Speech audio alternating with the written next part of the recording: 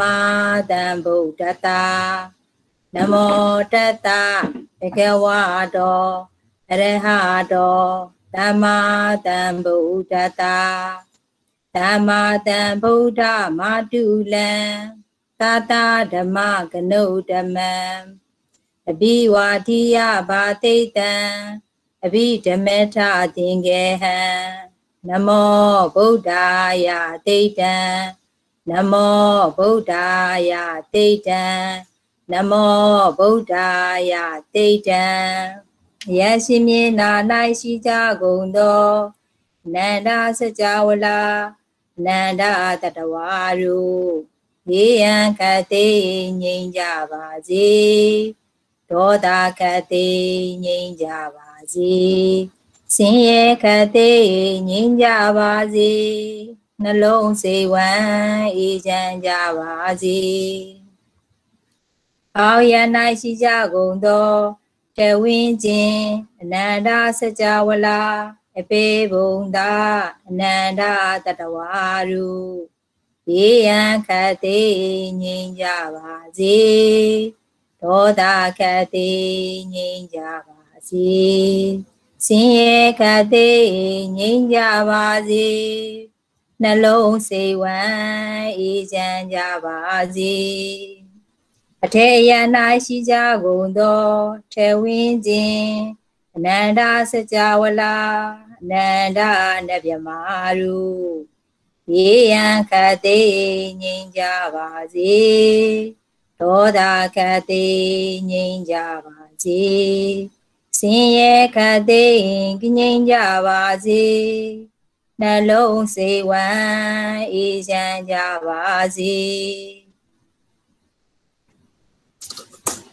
ဓမ္မမိတ်ဆွေများအားလုံးသင်တန်းမှာရှိတဲ့ဓမ္မမိတ်ဆွေတို့နေမှာအတွင်းမှာရှိကြတဲ့ဓမ္မမိတ်ဆွေပေါင်းတွင်နဲ့တကွာဤနေမြေဤဒေတာတွင် ရှိကြကုန်သော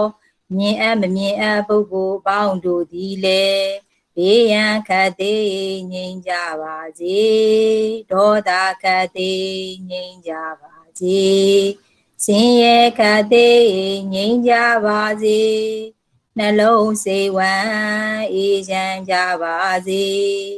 သာဓုသာဓုသာဓုမမေဆွေများ တတိယအဆင့်ရဲ့စာမျက်နာနာကြီးလေးကိုလှန်ပေးပါရှင်နာကြီးလေးကိုကြည့်ပေးပါမမေဆွေများစာအုပ်ရဲ့စာမျက်နာနာကြီးလေးအဲ့ဒီမှာအဘိဓမ္မာကမထမ်းပိုင်းဆိုရိုးဆိုတာဖြစ်ပါတယ်ရှင်မမေဆွေများရဲ့ဟုတ်နော် news လေးတွေကိုပြထားပြီးတော့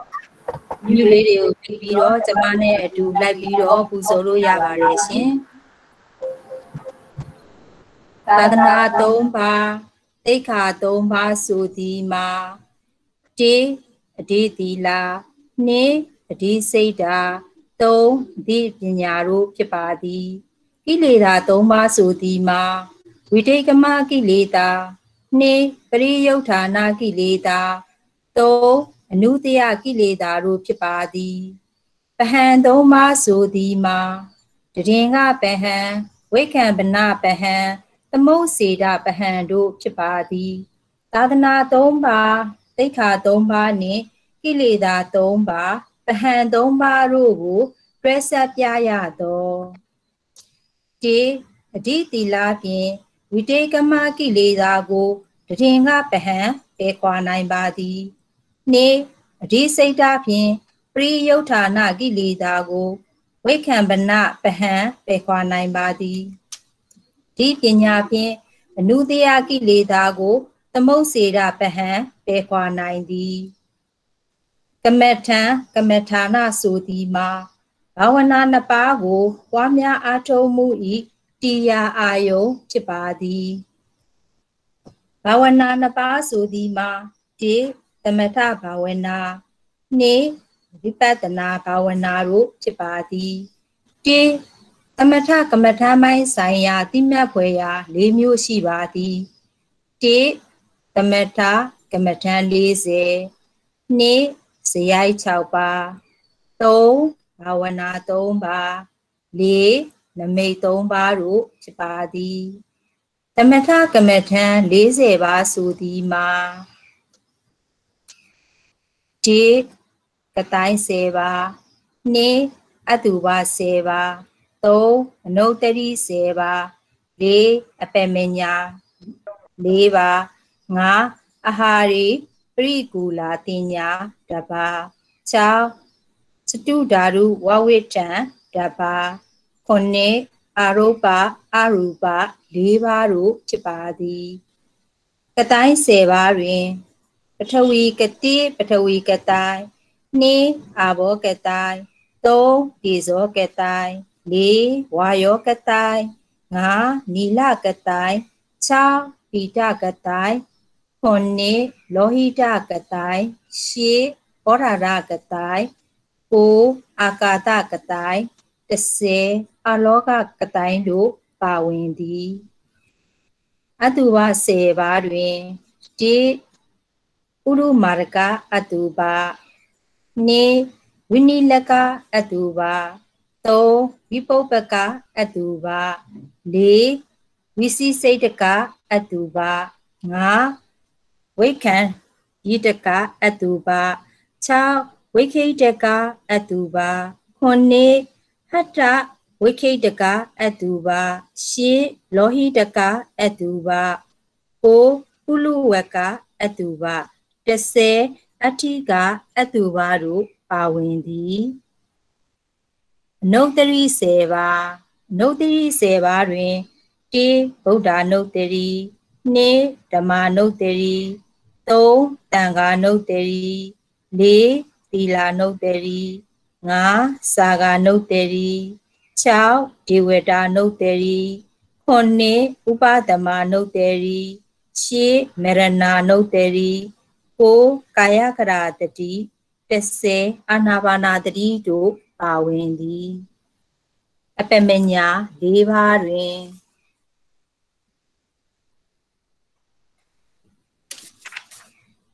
စာမျက်နှာထဆင်ဒူးလေးကိုရောက်သွားပါပြီရှင်။စာမျက်နှာထဆင်လူလေးကိုရောက်သွားပါပြီအပေမညာလေးပါမေတ္တာကရုဏာမုရိဒာဥပေက္ခာလို့ပါဝင်ပါသည်အာဟာရိပရိကောလာတင်ညာတပါးတွင်ဒီ အာဟာရိပရိကူလာတင်ညာတပါးသာရှိပါသည်စတုဓာရုဝဝိထံတပါးတွင်ဒီစတုဓာရုဝဝိထံတပါးသာရှိပါသည်အာရုပအရူပ၄ပါး၁အာဂါသနိဇာယရနာ၂ဝိညာနိဇာယရနာ၃အာကိဉ္စညာယရနာ၄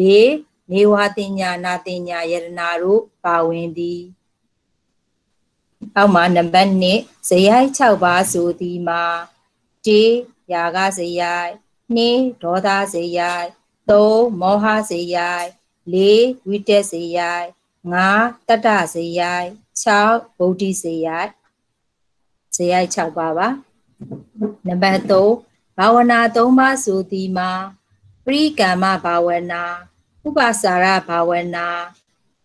3အပမညာဘာအပ အပနာဘာဝနာတို့ဖြစ်ပါသည်ဇန်တမာဘတ်6ပါးဆိုသည်မှာတိရူပဝဆရဇံ5ပါး2အရူပဝဆရဇံ၄ပါးတို့ဖြစ်ပါသည်၄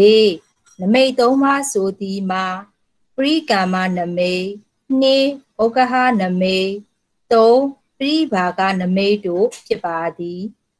ဝတိဘော၅ပါးဆိုသည်မှာ၁တမာပစ္စနဝတိဘော ၂အဋိဌာနဝတိဘော၃ဘုဋ္ဌာနဝတိဘော၄အဝိစနဝတိဘောငါပစ္စဝခဏဝတိဘောတို့ဖြစ်ပါသည် လောကီအဘိညာဉ်ခုနှစ်ပါးဆိုသည်မှာစာမျက်နှာဓာရွေးလေးကိုရောက်သွားပါပြီရှင်ဒီဒိဗစကုအဘိညာဉ်နှဒိဗသောတာအဘိညာဉ်၃အေတိဝိဒအဘိညာဉ် ၄စေတောပရိယအဘိညာဉ်၅ပုပ္ပေနိဝါဒနုဒ္တိအဘိညာဉ်6ယထာကမူပကအဘေညင်ခုနှစ်အနာဂရန္တအဘေညင်တို့ဖြစ်ပါသည်လောကုတ္တရာအဘိညာဉ်တစ်ပါးမှာဒီအတဝက်ခရအဘိညာဉ်ဖြစ်ပါသည်နိဝိပဿနာကမ္မထဆိုင်ရာတိမြတ်ပွဲ6မျိုးရှိပါသည်တိလက္ခဏာ3ပါ နိအနုပဒနာ3ပါ3ဝိတုဒ္ဓိ9ပါ4ဝိပဿနာဉာဏ်10ပါ5ဝိမောက္ခ3ပါ6ဝိမောက္ခမူခ3ပါးတို့ဖြစ်ပါသည်ဒီလက္ခဏာ3ပါးဆိုသည်မှာအနေစာလက္ခဏာနှင့်ဒုက္ခလက္ခဏာ3နာတာလက္ခဏာတို့ဖြစ်ပါသည်နှင့်အနုပဒနာ3ပါးဆိုသည်မှာ ဒီအနေစာနုပဒနာနှင့်ဒုက္ခနုပဒနာ3အနတ္တနုပဒနာတို့ဖြစ်ပါသည်3ဝိတုဒ္ဓိ9ပါးဆိုသည်မှာဒီသီလဝိတုဒ္ဓိနှင့်စေတဝိတုဒ္ဓိ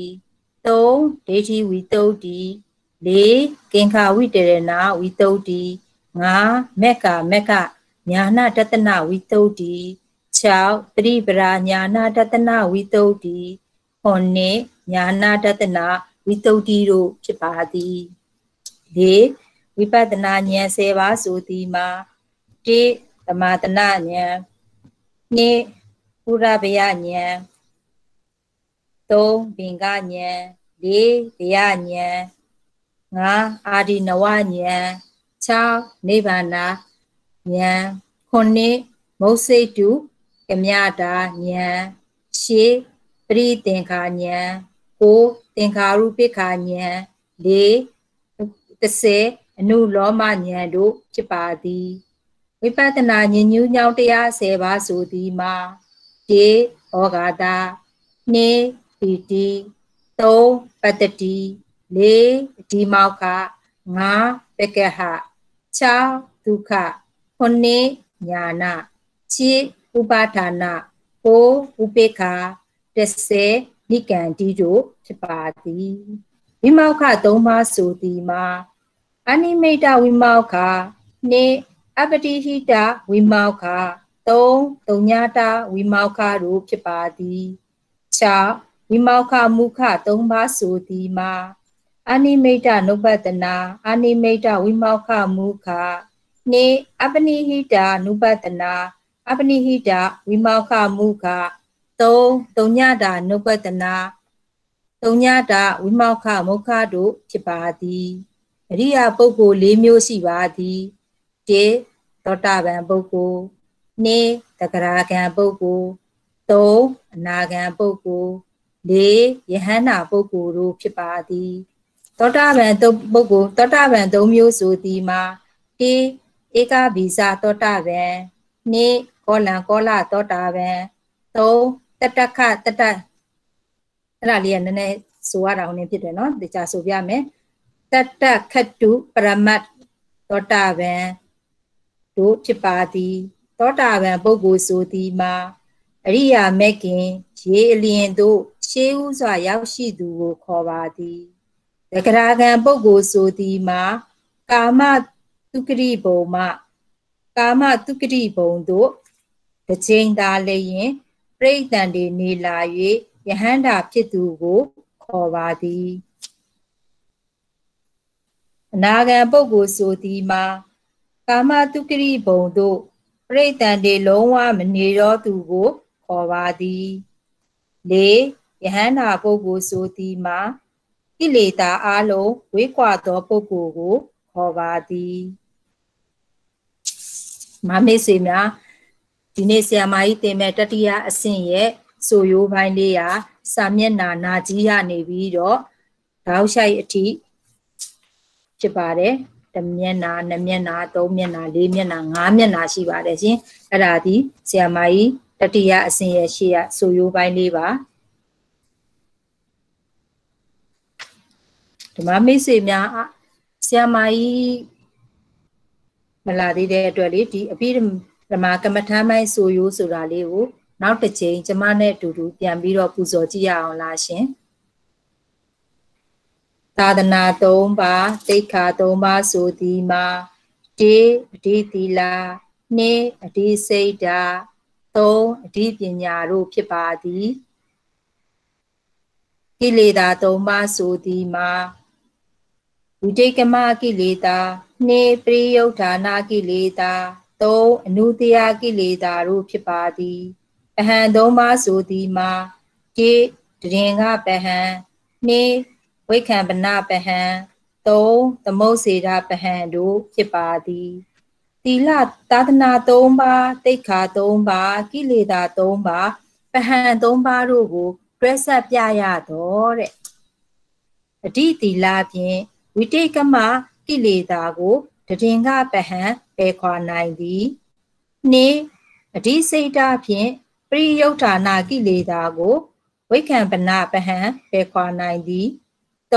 အဋ္ဌပညာဖြင့်အနုတယကိလေသာကိုသမုတ်စေရပဟံပယ်ခွာနိုင်သည်ကမ္မထံကမ္မဌာနဆိုသည်မှာဘာဝနာနှစ်ပါးကိုပွားများအားထုတ်မှု၏တရားအာယုဖြစ်ပါသည်ဘာဝနာနှစ်ပါးဆိုသည်မှာတေသမထဘာဝနာ နှင့်ဝိပဿနာဘာဝနာတို့ဖြစ်ပါသည်တေသမထကမ္မထဆိုင်ရာတိမှတ်ပွေရာ၄မျိုးရှိပါသည်တေသမထကမ္မထ40ပါနှင့်ဇယိုက်6ပါ3ဘာဝနာ3ပါ4နမိတ်၃ပါးတို့ဖြစ်ပါသည်တိသမထကမ္မထံ40ပါးဆိုသည်မှာတိကတိုင်း10ပါးနှင်းအတုပါ10ပါး 3အနုတ္တရိ10ပါး4အပမညာ4ပါး5အာဟာရေပရိကူလာတင်ညာတပါး6စတုဓာရုဝဝိထံတပါး9အာရုပအရူပ၄ပါးတို့ဖြစ်ပါသည်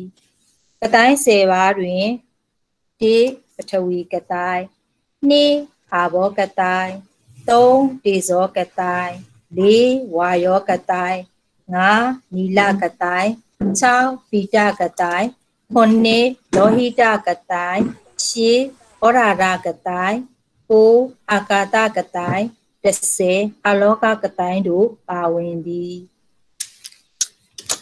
အတုပ10ပါးတွင်ဩရုမာရကအတုပနှင့်ဝိနိလကအတုပသုံးဝိပုပ္ပကအတုပလေးဝိစိတ်တကအတုပငါ ဝိခာယိတကအတုပ6ဝိခိတကအတုပခုနှစ်ဟတဝိထိကကအတုပရှေလောဟိတကအတုပကိုပုရုဝကအတုပ30အထိကအတုပတို့ပါဝင်သည်အနုတ္တရိ10ပါးတွင်တေဗုဒ္ဓနုတ္တရိနှစ်ဓမ္မနုတ္တရိသုံးတန်ခါနုတ္တရိလေးသီလာနုတ္တရိငါး စာဂာနုတ္တရိ6ဒေဝတာနုတ္တရိခုနှစ်ဥပဒမနုတ္တရိရှေမရဏနုတ္တရိကိုကာယကရာတတိ30အာနာပါနာတတိတို့ပါဝင်သည်အပမညာ၄ပါးတွင်စာမျက်နှာထဆင်တူကိုရောက်သွားပါပြီရှင်။၁မေတ္တာ၂ကရုဏာ၃မုဒိတာ ၄ဥပိ္ပခါတို့ပါဝင်သည်အာဟာရေပိကူလာတင်ညာတပါးတွင်အာဟာရေပိကူလာတင်ညာတပါးသာရှိပါသည်စတုဓာရုဝဝိထံတပါးတွင်စတုဓာရုဝဝိထံတပါးသာရှိပါသည်အာရုပ၄ပါးအရူပ၄ပါးတွင်တေအာကာဒနိဇာယရနာနှဝိညာနိဇာယရနာ3အာကိစဉ္ညာယရနာ 4နေဝတင်ညာနာတင်ညာယရနာတို့ပါဝင်သည်နှဇေယိုက်6ပါးဆိုသည်မှာ1ရာဂဇေယိုက်2ဒေါသဇေယိုက်3မောဟဇေယိုက်4ဝိတက်ဇေယိုက်5တတ္တာဇေယိုက်6ဗုဒ္ဓဇေယိုက်ပညာတို့ဖြစ်ပါသည်3ဘာဝနာ3ပါးဆိုသည်မှာပရိကမ္မဘာဝနာနှင့်ဥပဇာဘာဝနာ 3အာပနာဘာဝနာတို့ဖြစ်ပါသည်ဇန်တမာဘတ်9ပါးဆိုသည်မှာရူပဝဆရာဇန်5ပါးနှင့်အရူပဝဆရာဇန်4ပါးတို့ဖြစ်ပါသည်နမိတ်3ပါးဆိုသည်မှာဒီနမိတ်3ပါးဆိုသည်မှာတိပရိကမ္မနမိတ်နှင့်ဥက္ကဟနမိတ်3ပရိဘာကနမိတ်တို့ဖြစ်ပါသည်ပတိဘော၅ပါးဆိုသည်မှာတေ သမာပစ္စနဝတိဘော2အဋိဌာနဝတိဘော3မုဋ္ဌာနဝတိဘော4အဝိစနဝတိဘော5ပစ္စနခဏဝတိဘောတို့ဖြစ်ပါသည်လောကီအပေညင်ခုနှစ်ပါးဆိုသည်မှာစာမျက်နှာဓာရီကိုရောက်သွားပါပြီရှင်ဒီ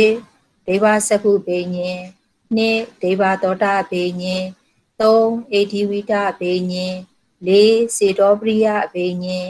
5ပုပ္ပေနိဝါဒနုဒတိအပေညင်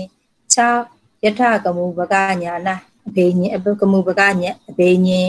9အနာဂရန္တအပေညင်တို့ဖြစ်ပါသည်လောကုတ္တရာအပေညင်တစ်ပါးမှာအာတဝက်ခယအပေညင်ဖြစ်ပါသည်နေဝိပဿနာကမ္မထဆိုင်ရာတိမြတ်ပွဲ6မျိုးရှိပါသည်ဒီလက္ခဏာ3ပါးနှင့်အနုပဒနာ3ပါး3ဝိတုဒ္ဓိ9ပါး 4ဝိပဿနာဉာဏ်10ပါး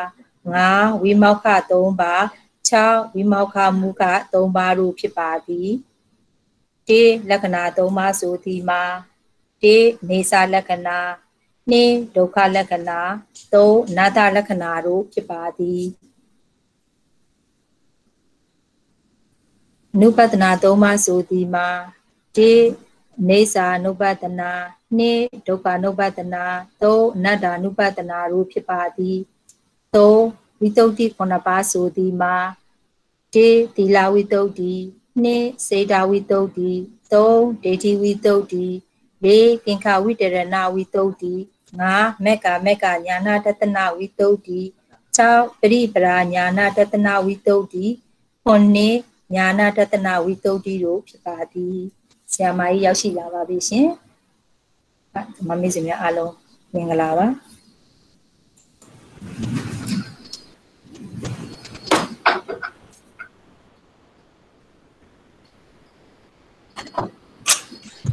မင်္ဂလာပါဆရာမမင်္ဂလာပါဆရာရ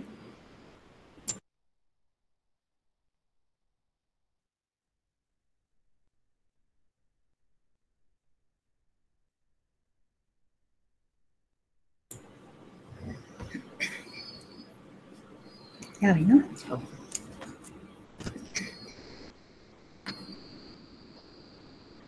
မမေ့ဆွေတင်နန်းသားတင်နန်းသူများအားလုံးမင်္ဂလာပါရှင်ဆရာဆရာမမင်္ဂလာပါဆရာမမမေ့ဆွေများအားလုံးကိုကြီးကျမ်းမာခြင်းစိတ်ရည်ချမ်းသာခြင်းနဲ့ပြည့်စုံပါစေမင်္ဂလာချက်တွေပေါင်းနဲ့လည်းပြည့်စုံပါစေရှင် ဆီယမပေးတဲ့ဆုနဲ့ပြည့်စုံပါစေဆီယမလည်းစိတ်ချမ်းသာခြင်းပြည့်စုံချမ်းသာခြင်းပြည့်စုံပါစေမမီဆွေတင်နန်းတော်တင်နန်းသူများပေးတော်ဆုနဲ့ပြည့်စုံရစေနော်ကျေးဇူးများတင်ပါတယ်ရှင်ဒီကေမမီဆွေများရှင်တင်နန်းတော်တင်နန်းသူပြ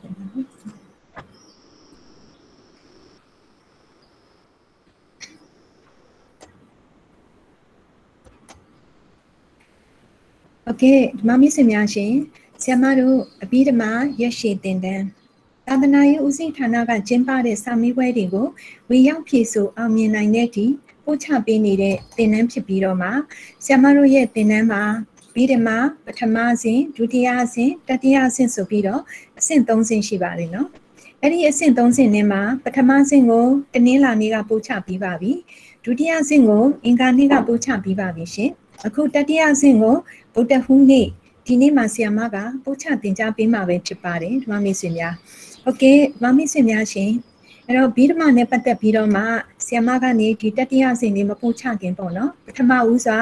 ဘီဓမတင်တန်းလေးဖွင့်လှစ်တာဖြစ်တဲ့အတွက်ကြောင့်ဆီယမကမင်္ဂလာနှုတ်ခွန်းဆက်စကားလေးအရင်ဆုံးပြောကြားပေးပါရစေသာသနာနှစ်2564ခုနှစ်ကောဇာတက္ကရေ1382ခုနှစ်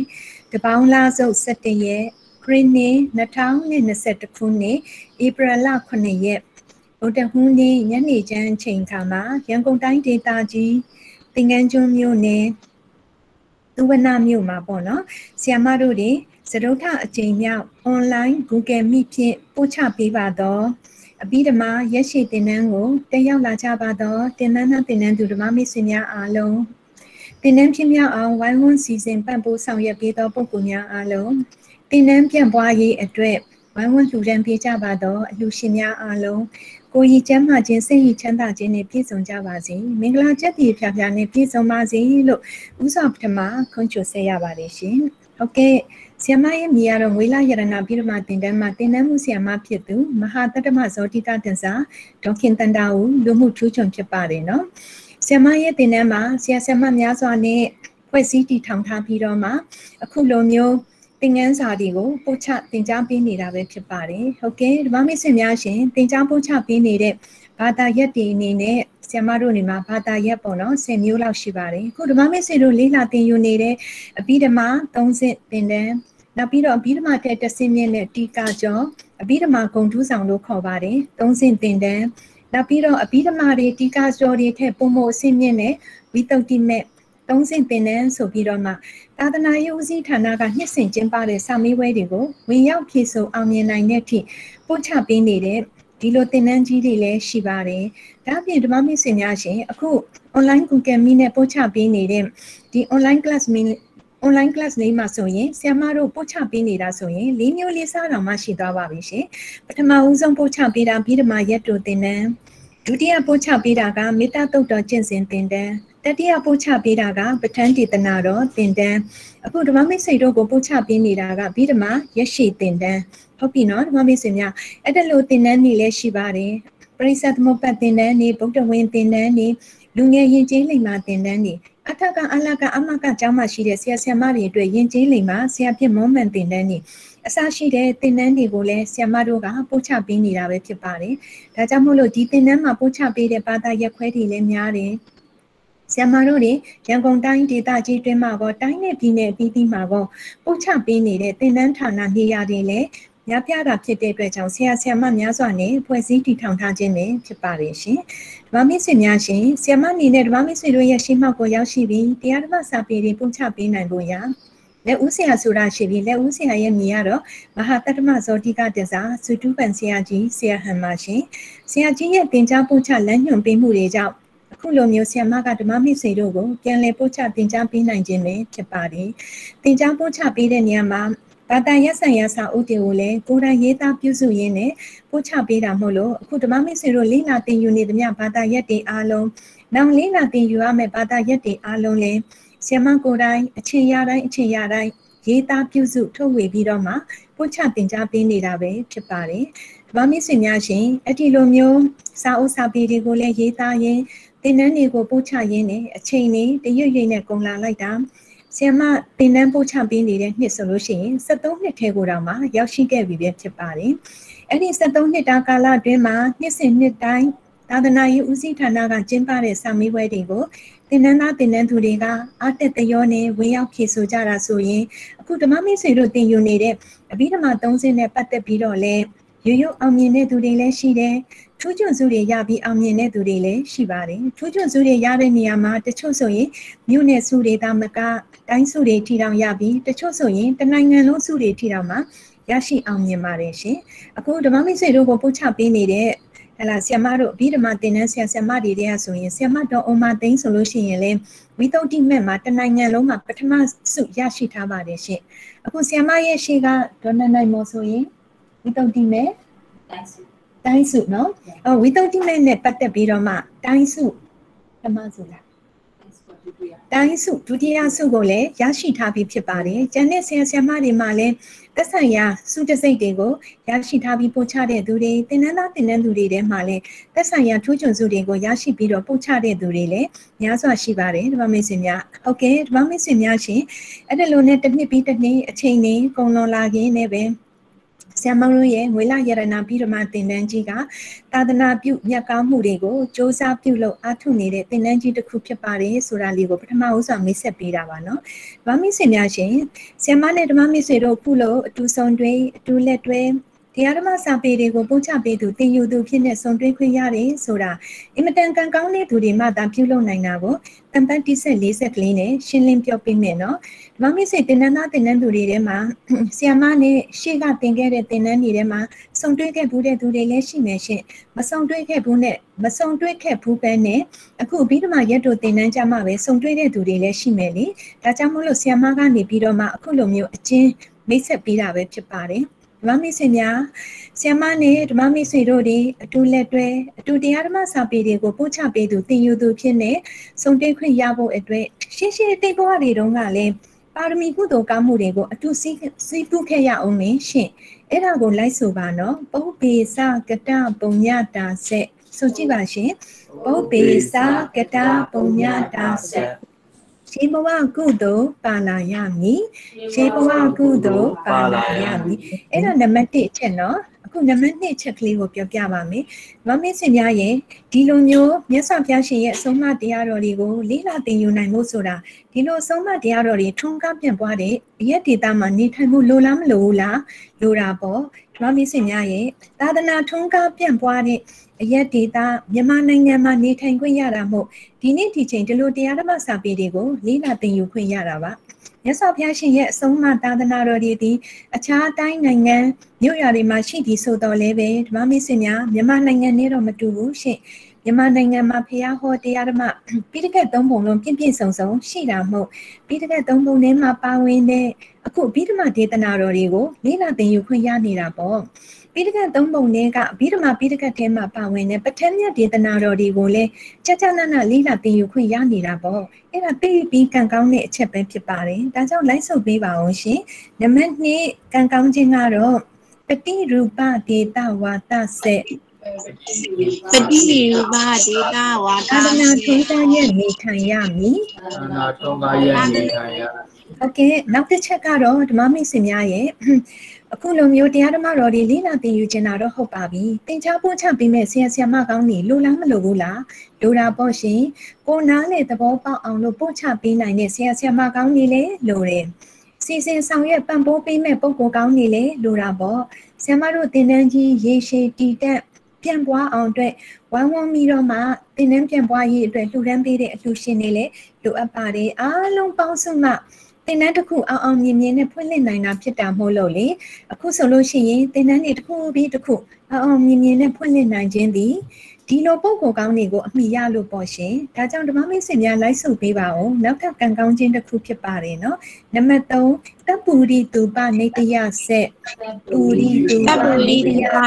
ဆက်ပုံကိုကောင်းများအမိပြုရမည်ပုံကိုကောင်းများအမိပြုရမည်ဟုတ်ကဲ့နောက်ဆုံးတစ်ချက်ကိုဆရာမပြောပါတော့မယ်အဲဒါကတော့ကိုယ်တိုင်စိတ်ဝင်စားမှုရှိမှလည်းဓမ္မမိတ်ဆွေများလေ့လာသင်ယူနိုင်တာ ဆရာမတို့ဆိုရင်ဟလာ online ကနေပြီးတော့မှအခုလိုမျိုးသင်တန်းတွေရှိတဲ့အကြောင်းဝိလာယရနာပြီးတော့မှ page ကနေလည်းကြီးညာတယ်ကိုစီကိုစီဆရာမတွေလည်းကြီးညာတယ်ပေါ့နော်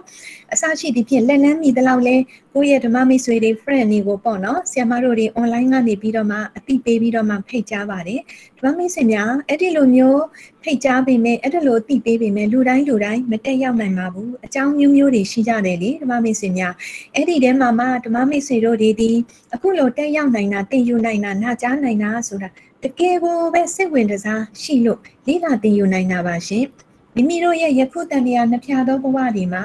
တရားဓမ္မရဲ့ကူညီကိုယူပြီးတော့မှပြုပြင်မယ်ပြောင်းလဲမယ်ဆိုတဲ့ရည်ရွယ်ချက်တွေရှိတယ် ငါတို့တိုးတက်အောင်လုပ်ဆရာရှိတာလုပ်မယ်ဆိုတဲ့ရည်ရွယ်ချက်တွေရှိတယ်အဲ့ဒါလိုရည်ရွယ်ချက်တွေနဲ့လေ့လာသင်ယူကြတာမဟုတ်ဘူးလားရှင်ဒါကြောင့်ဓမ္မမိတ်ဆွေတို့တွေဒီနောက်ဆုံးတမ္ပတိဆက်ဖြစ်တဲ့အတ္တတမပဏိတိဆက်နဲ့လည်းပြည့်စုံနေတာပေါ့လိုက်ဆိုပါအောင်ရှင်အတ္တတမပဏိတိဆက်အတ္တတမပဏိတိဆက် မိမိကိုယ်တိုင်စိတ်ဝင်စားမှုရှိရမည်မိမိကိုယ်တိုင်စိတ်ဝင်စားမှုရှိရမည်ဟုတ်ကဲ့ဒါဆိုရင်တံပတ်တိဆက်၄ဆက်ကိုဆ iam မနဲ့တူတူဆိုကြည့်ကြမယ်ဒီမှာလည်းပြထားတယ်ဆိုတော့လေတေ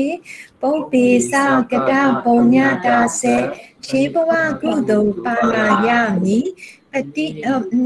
ပတိရူပဒေတာဝါတစေသာသနာထုံးကားရဲ့နေထိုင်ရမည်တပူရိတူပနေတယစေ ပုဂ္ဂိုလ်ကောင်းများအမိပြုရမည်အတ္တတမပဏိတိစေမိမိကိုယ်တိုင်စိတ်ဝင်စားမှုရှိရမည်ဟုတ်ကဲ့ပါဒီလိုတန်ပတ်တိဆက်40နဲ့ပြည့်စုံတဲ့အင်မတန်ကံကောင်းတဲ့သူတွေဖြစ်ပါတယ်ဆိုတာကိုပထမဦးစွာဝမ်းမြောက်ပဲပြောကြားပေးတာပါနော်မမစ်စင်များရှင်သာသနာတွင်မှာလူဖြစ်ခွင့်ရတာ သာသနာတွင်မှာ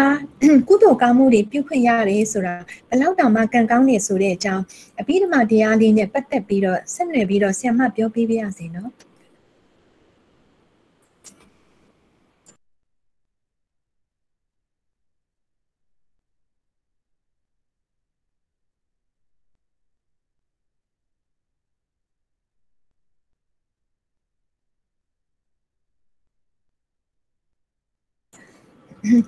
ဟုတ်ကဲ့ဓမ္မမိတ်ဆွေများရှင်ဒီလိုပါ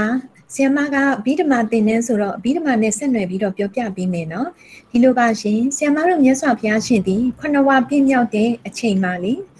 တာဝရိန္ဒာနဲ့ပြည်မှာတက်ရောက်ပြီးတော့မှအဘိဓမာတရားတော်တွေကိုဟောကြားဖို့ပြင်ဆင်ပါတယ်တာဝရိန္ဒာနဲ့ပြည်မှာရှိတဲ့တရားမင်းကြီးနေထိုင်တဲ့အဲတရားမင်းကြီးနေထိုင်တဲ့ပေါ့နော်ပင်လယ်ကတစ်ပင်အောက်မှာရှိတဲ့ပန်တုကပလာ မြပြမြကြောက်ဖြာထက်မှာဆရာမတို့မြတ်စွာဘုရားရှင်ဟာထက်ဝေဖွဲ့ခွေသတင်းသုံးတော်မူပြီးတော့မှလေအဘိဓမ္မာတရားတော်တွေဟောကြားမယ်ဆိုတာလေးကိုမိန့်တော်မူပါတယ်အဲ့ဒီတော့တာဝရိန္ဒာနတ်ပြည်မှာရှိတဲ့နတ်သားနတ်သမီးတွေကမကနတ်ပြည်6ထက်လုံးကနတ်ပြမနတ်နတ်နတ်သားနတ်သမီးတွေကပြီးတော့ဗြမဘုံ20မှာရှိတယ်ပေါ့နော်ဒီမှာမိတ်ဆွေများနန်ရုပ်တွေရှိကြတယ်ဗြမဘုံသားတွေက ဆီယမတို့စัจ java လာတိုက်မှာရှိတဲ့နတ်တိပြမဒီနာမကဆီယမတို့စัจ java လာနဲ့ထိဆက်နေတဲ့စัจ java လာတိုက်တတောင်းလုံးကနတ်ပြမဒီကဆီယမတို့မြတ်စွာဘုရားရှင်ဟောကြားမယ်ဗိဓမာဒေသနာတော်ကြီးကိုနာယူဖို့အတွက်အားလုံးစုယုံရောက်ရှိလာကြပါတယ်ဓမ္မမေးစင်များရဲ့နတ်ပြမတွေကပြည့်ရှမ်းနေလိုက်တာဆီယမတို့မြတ်စွာဘုရားရှင်ရဲ့အရှိတ်ဘက်မှာဆိုလို့ရှိရင်လေစัจ java လာအဆုံးထိရောက်သွားတယ်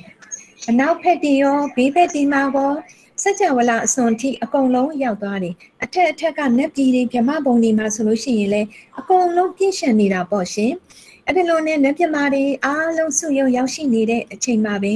ဆ iam မတို့မြတ်စွာဘုရားရှင်ရဲ့အနီးအနားမှာနေရာယူတဲ့နှစ်သားသုံးဦးရှိပါတယ်။ Okay ပထမနှစ်သားကတော့မေတော်ဖြစ်ခဲ့ဘူးတဲ့တန်တုတ်တိတနှစ်သားပါရှင်။တန်တုတ်တိတနှစ်သားဒီဆ iam မတို့မြတ်စွာဘုရားရှင်ရဲ့လက်ရပဲနံပါတ်လေး အရှိဆုံးမှာနေရာယူတော်မူပါတယ်ပြီးတော့နောက်ထပ်နတ်သားနှစ်ပါးကတော့အင်ကူရနတ်သားနဲ့အင်ဒကနတ်သားနှစ်ပါးဖြစ်ပြီးတော့မှဆ iam မတို့မြတ်စွာဘုရားရှင်ရဲ့ဘယ်ဘက်နံပါတ်လေးမှာအရှိဆုံးကနေပထမဦးဆုံးနေရာလာယူကြပါတယ်ရှင်အဲ့ဒီလိုမျိုးနေရာလာယူကြပြီးတော့နောက်ထပ်နောက်ထပ်တရားနာမဲ့နတ်ပြမာတွေလည်းထပ်ထပ်ပြီးတော့ရောက်ရှိလာတာကိုအဲ့ဒါလို့ရောက်ရှိလာတဲ့အခါမှာဓမ္မမင်းစင်များရှင်ဒီဘက်ကဘယ်ဘက်မှာနေရာယူတဲ့နတ်သားနှစ်ပါးတွေကလေ အင်ကူရနတ်သားသည်တကိုးကြီးတဲ့နတ်ပြမာတွေလာလိုက်နောက်ကိုဆုပ်ပေးလိုက်တကိုးကြီးတဲ့နတ်ပြမာတွေလာလိုက်နောက်ကိုဆုပ်ပေးလိုက်နဲ့ဓမ္မမစ်စင်များဖျားရှင်တရားဟောတော့မဲ့ချိန်လဲရောက်တော့အဲ့ဒီအင်ကူရနတ်သားသည်ဆရာမတို့မြတ်စွာဘုရားရှင်နဲ့စနစ်ယူဇနာဝေးတဲ့အရက်ကိုတော်မှာရောက်သွားပါလေတယ်တယူဇနာကိုနေဆုံးရှစ်မိုင်နဲ့ပဲအတွက်စနစ်ယူဇနာဆိုတော့ဓမ္မမစ်စင်များအများကြီးဝေးသွားတာပေါ့ဟုတ်ကဲ့ ဆရာမတို့မြတ်စွာဘုရားရှင်သည်ကျုံတော်မူပြီးတော့မှတရားတော်မဟောခင်မှာပထမဦးစွာအမေးစကားထားပါတယ်။အင်ကူရနန္တာအရှိဆုံးကနေနေရလာယူပြီးတော့မှအခုတရားနာရတော့မယ့်အချိန်မှာငါဖះရှင်နဲ့စနစ်ယူဇနာဝေးတဲ့အရက်ကိုရောက်သွားရတာဘာကြောင့်လဲလို့အမေးစကားထားတဲ့အခါမှာအင်ကူရနတ္တာကနေပြန်ပြီးတော့လျှောက်ပါတယ်အရှင်ဖះ တပည့်တော်သည်သာသနာပကာလတုန်းကကုသိုလ်ကောင်းမှုပြုခဲ့တဲ့သူပါတပည့်တော်သည်ကုသိုလ်ကောင်းမှုပြုတဲ့နေရာမှာဘလောက်တောင်မှပြုခဲ့လဲဆိုရင်ခုနှစ်နှစ်ခုနှစ်လခုနှစ်ရက်တိတိထမင်းရီချောင်းစီအလှကြီးကိုလှူခဲ့ပါတယ်ဗျာတပည့်တော်နေတဲ့စပူတိတ်ကျွန်းမှာရှိတဲ့လူတွေအားလုံးကိုဖိတ်ကြားပြီးတော့ငါရဲ့အလှမှာလာပြီးတော့တင်တို့စားကြတောက်ကြပါဆိုပြီးတော့မှ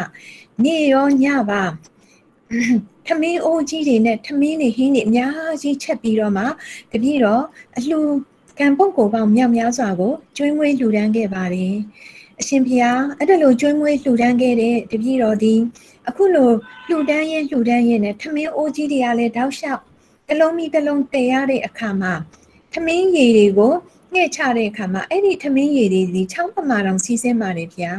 ဒါကြောင့်တပည့်တော်ရဲ့အလှကိုထမင်းရည်ချောင်းစီအလှကြီးလို့တောင်မှ အမီသမုတ်ခဲ့ပါတယ်ဗျာပြီးတော့တပည့်တော်ဟာအဲ့ဒါလောက်လှူတာတော့မှမတင်းတိမ်ပဲနဲ့လေငါသူတို့တွေလိုအပ်သမျှအသုံးဆောင်တွေကိုလည်းလှူခြင်းလိုက်တာဆိုပြီးတော့မှသူတို့လိုအပ်သမျှအသုံးဆောင်တွေကိုလည်းအလှူမအကုန်လုံးထားထားပြီးတော့မှသင်တို့လိုအပ်သမျှယူပါဆိုပြီးလှူဒန်းခဲ့ပါတယ်။ဒါကြောင့်မလို့လှူခံပုံကိုယ်တွေဒီအချိန်ကြာရင်ထမင်းလဲစားရတယ်။သူတို့ရဲ့အသုံးဆောင်ပစ္စည်းတွေမှန်သမျှလဲ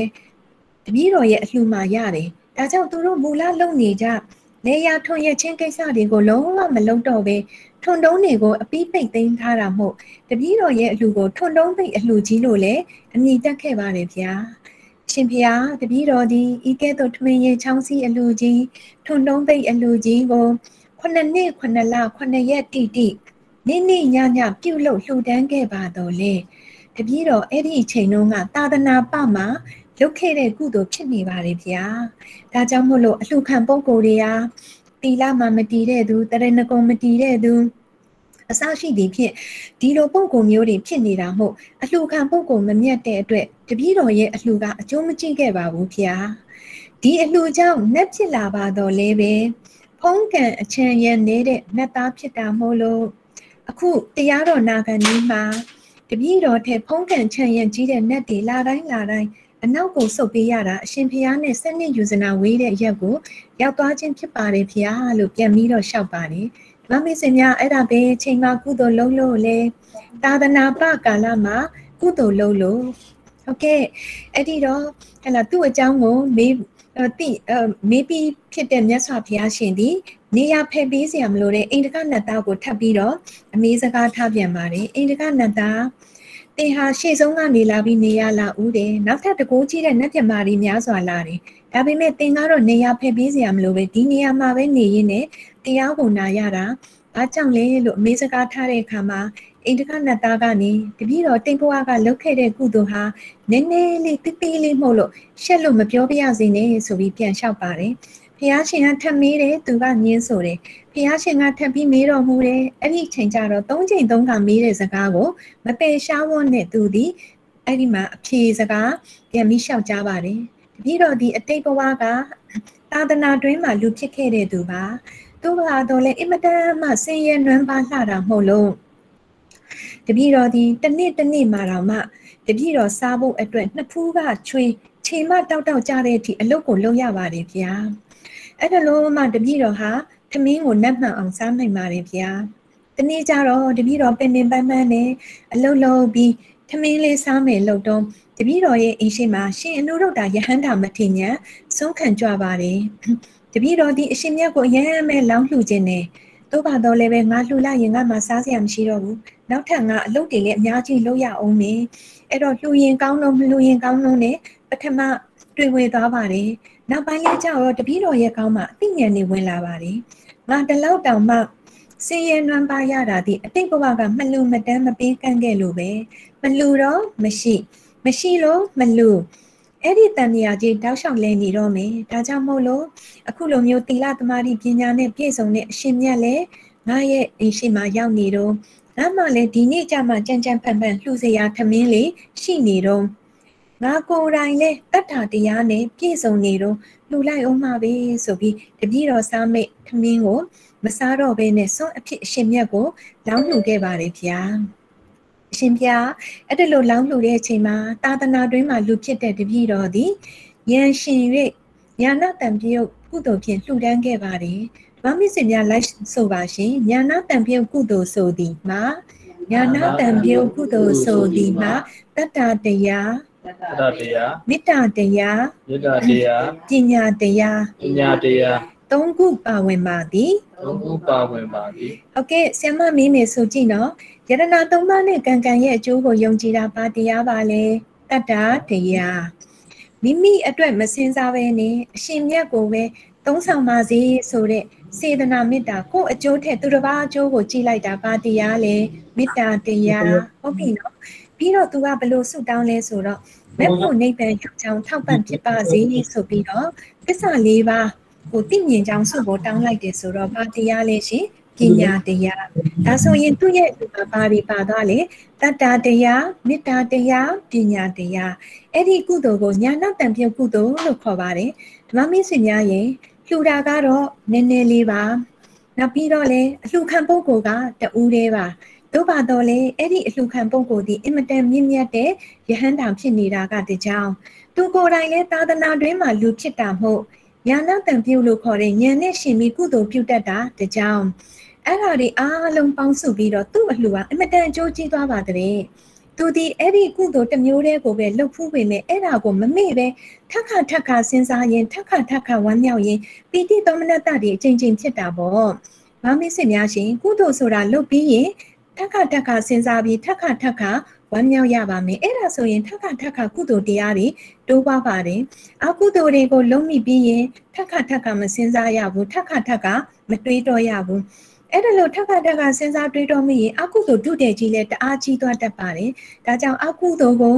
လုံးမိပြီးရင်တတိတဝေကထားပြီးမိပြစ်လိုက်ပါ။ကုသိုလ်ကိုလုပ်ပြီးရင်တော့ဓမ္မမိတ်ဆွေများထက်ခါထက်ခါစဉ်းစားပြီးဝမ်းမြောက်ပေးပါ။ ဓမ္မမိတ်ဆွေများရှင်ဥပမာပေါ့တထောင်ကုန်လှူတဲ့ဆိုပါစို့အဲ့ဒီမှာဒီမဲ့ဆယ်ကာလောက်စဉ်းစားပြီးဝမ်းမြောက်တယ်ဆိုလို့ရှိရင်အဲ့ဒီကုသိုလ်ဒီတထောင်လောက်တန်ဖိုးကြီးသွားပါတယ်။တသိန်းကုန်လှူတဲ့ဆိုပါစို့ဟုတ်ကဲ့ဆယ်ကာလောက်စဉ်းစားပြီးပီတိဖြစ်ရင်ဆယ်ကာပြုတ်တာနဲ့တူတာမဟုတ်လို့ဆယ်သိန်းကုန်တဲ့ကုသိုလ်မျိုးကြီး ဖြစ်သွားပါတယ်ဓမ္မမိတ်ဆွေများဆော့ဆော့ပါဆင်းရဲသားကလည်းအဲ့ဒါလို့ထက်ခါထက်ခါစဉ်းစားရင်ပီတိတောမနတတွေထက်ခါထက်ခါဖြစ်လိုက်တာကုသိုလ်ရေအတွက်တွေတအားများသွားပါတယ်ဓမ္မမိတ်ဆွေများစုတိလဲစုတိရောကာဝရိန်သာနတ်ပြည်မှာဖုံးခံချင်ရအမတန်ကြီးမားတဲ့နတ်သားသွားဖြစ်ပါတော့တယ်ရှင်အဲ့ဒါဒီသာသနာတွင်မှာပြုတဲ့ကုသိုလ်ရဲ့ကုသိုလ်ကိုမမေ့ပဲထက်ခါထက်ခါဝမ်းမြောက်တာရဲ့ ပြီးတော့အလှခံပုဂ္ဂိုလ်မြတ်တာရဲ့သူကိုယ်တိုင်ညာနာတံပြုတ်လုတ်တတ်တာရဲ့ပေါင်းဆက်ပြီးတော့နည်းနည်းလေးလူပေမဲ့အကျိုးကြီးကြီးမားမားရသွားတာဒီသာသနာတွင်မှာလူဖြစ်ခွင့်ရလို့ပဲဖြစ်ပါတယ်။ဓမ္မမိတ်ဆွေများဒါကြောင့်သာသနာပကာလနဲ့သာသနာတွင်ကာလဟာအင်မတန်မှကွာခြားလာတယ်ဆိုတာကိုသိရှိပေးပါနော်။ဟုတ်ကဲ့ရှင်။ဒါကြောင့်သူဒီဖះရှင်ရဲ့ရှေ့တော်မှမှာပထမဦးဆုံးနေရာလာဦးတယ်။ နောက်ထပ်ဖုံးကန်ချန်ရန်ကြီးတဲ့နတ်ပြမာတွေရောက်ပြီမဲ့သူလည်းဖုံးကန်ချန်ရန်ကြီးပြီးသားပဲလေဒါကြောင့်မို့လို့အတူတူပဲမို့လို့နေရဖက်ပေးစရာမလိုပါဘူးဒါကြောင့်ရှေ့ဆုံးကနေတရားနာရခြင်းဖြစ်ပြီးတော့စောစောကမြောက်များစွာဟလာလှူဒန်းခဲ့တဲ့ပုံကောကတော့အနောက်ကိုဆုတ်ပေးရတာဒီသာသနာပမှာပြုခဲ့တဲ့ကုသိုလ်ကြောင့်ပဲဖြစ်ပါတယ်။ဒါကြောင့်ဓမ္မမိတ်ဆွေတင်နန်းသားတင်နန်းသူများရှင်သာသနာတွင်မှာလူဖြစ်ခွင့်ရခြင်း သာသနာတွင်မှာသာရှိတဲ့အခုလိုမျိုးတရားဓမ္မအဘိဓမ္မာတော်တွေကိုလေ့လာသင်ယူခွင့်ရနေခြင်းသင်ကြားပို့ချပေးတဲ့ဆရာဆရာမများလည်းရှိခြင်းမိမိကိုယ်တိုင်လည်းစိတ်ဝင်စားခြင်းရှေးရှေးတုန်းကလည်းပြုခဲ့တဲ့အတိတ်ကံကုသိုလ်တွေကလည်းပါလာခြင်းအားလုံးပေါင်းစုရင်းနဲ့ဓမ္မမိတ်ဆွေတို့တွေဒီဒီလိုကုသိုလ်တွေပြုခွင့်ရတာမဟုတ်မိမိရဲ့ရထားတဲ့ကံကောင်းခြင်းကို မပင်ရှားဖြစ်ဖဲနဲ့ဒီသင်တန်းလေးကိုနေ့စဉ်နေ့စဉ်တက်သွားပါနေ့စဉ်နေ့စဉ်ဆိုတာဆရာမတို့အပတ်စဉ်သင်ကြားပေးတဲ့သင်တန်းတွေကိုမပြတ်မကွက်တက်ရောက်ပြီးတော့မှပါရမီကုသိုလ်တွေကိုစုဆောင်းသွားပါလို့ဆရာမအနေနဲ့တိုက်တွန်းပြောကြားလိုပါတယ်။ဟုတ်ကဲ့သာသနာတွင်ကုသိုလ်နဲ့သာသနာပကုသိုလ်ဘယ်လောက်တောင်မှကွာခြားတယ်ဆိုတာဓမ္မမစ္စေတို့သိသွားပြီနော်။ဟုတ်ကဲ့ပါဒါကြောင့်မို့လို့ဆရာမကိုအခုလိုမျိုးဆရာမတူဖြစ်အောင်ပြုစုပြိုးထောင်ပေးခဲ့တယ်။နောက်မိဘနှစ်ပါး ဖေဖေတီတီပြန်ချီဝင်ကြီးဗိုလ်ချုပ်တင်ဝေနဲ့မေမေတော်လှလှသိန်းတို့ကိုလည်းဒီနေရာနေအထူးကျေးဇူးတင်ပြီးတော့မှရှ िख ိုးကြတော့ပါတယ်နောက်တစ်ခါဆီယမတဦးဖြစ်အောင်လို့ချင်းမြောက်ပေးခဲ့တဲ့ဆရာကြီးဆရာဟန်ကိုလည်းဒီနေရာကနေကျေးဇူးတင်ကာရဝပြုပါတယ်ဟုတ်ကဲ့ပါဆီယမနဲ့တူလက်တွဲကူညီပြီးတော့မှဝိုင်းဝန်းဆောင်ရွက်ပေးတဲ့သင်တန်းဖြစ်မြောက်အောင်ကူညီပေးတဲ့ဓမ္မမိတ်ဆွေတွေအားလုံးကိုလည်းဒီနေရာကနေကျေးဇူးတင်ကြောင်းပြောကြားပါရစေ။နောက်ဆီယမတို့သင်တန်းပြန်ပွားရေးအတွက်ပေါ့နော်။ ရေရှည်တည်တံ့ရေးအတွက်ဝိုင်းဝန်းစုပေါင်းလှူဒန်းပေးကြတဲ့အလှူရှင်ပုဂ္ဂိုလ်များကိုလည်းကျေးဇူးအထူးတင်ရသလိုအခုချိန်မှာဆီယမနဲ့အတူလက်တွဲပြီးတော့တရားဓမ္မစာပေတွေကိုလေ့လာသင်ယူနေကြတဲ့ဓမ္မမိတ်ဆွေသင်တန်းသားသင်တန်းသူများကိုတော့အထူးအထူးကျေးဇူးတင်ကြောင်းပြောကြားရင်းနဲ့ဒီနေ့အဘိဓမ္မာရက်ရှည်သင်တန်းနဲ့ပတ်သက်တဲ့မိတ်ဆက်စကားလေးကျေးဇူးတင်စကားလေးကိုနှိကုံးချုပ်အဆုံးသတ်အပ်ပါတယ်အားလုံးထူးပဲကျေးဇူးတင်ပါတယ်ရှင် disconnected.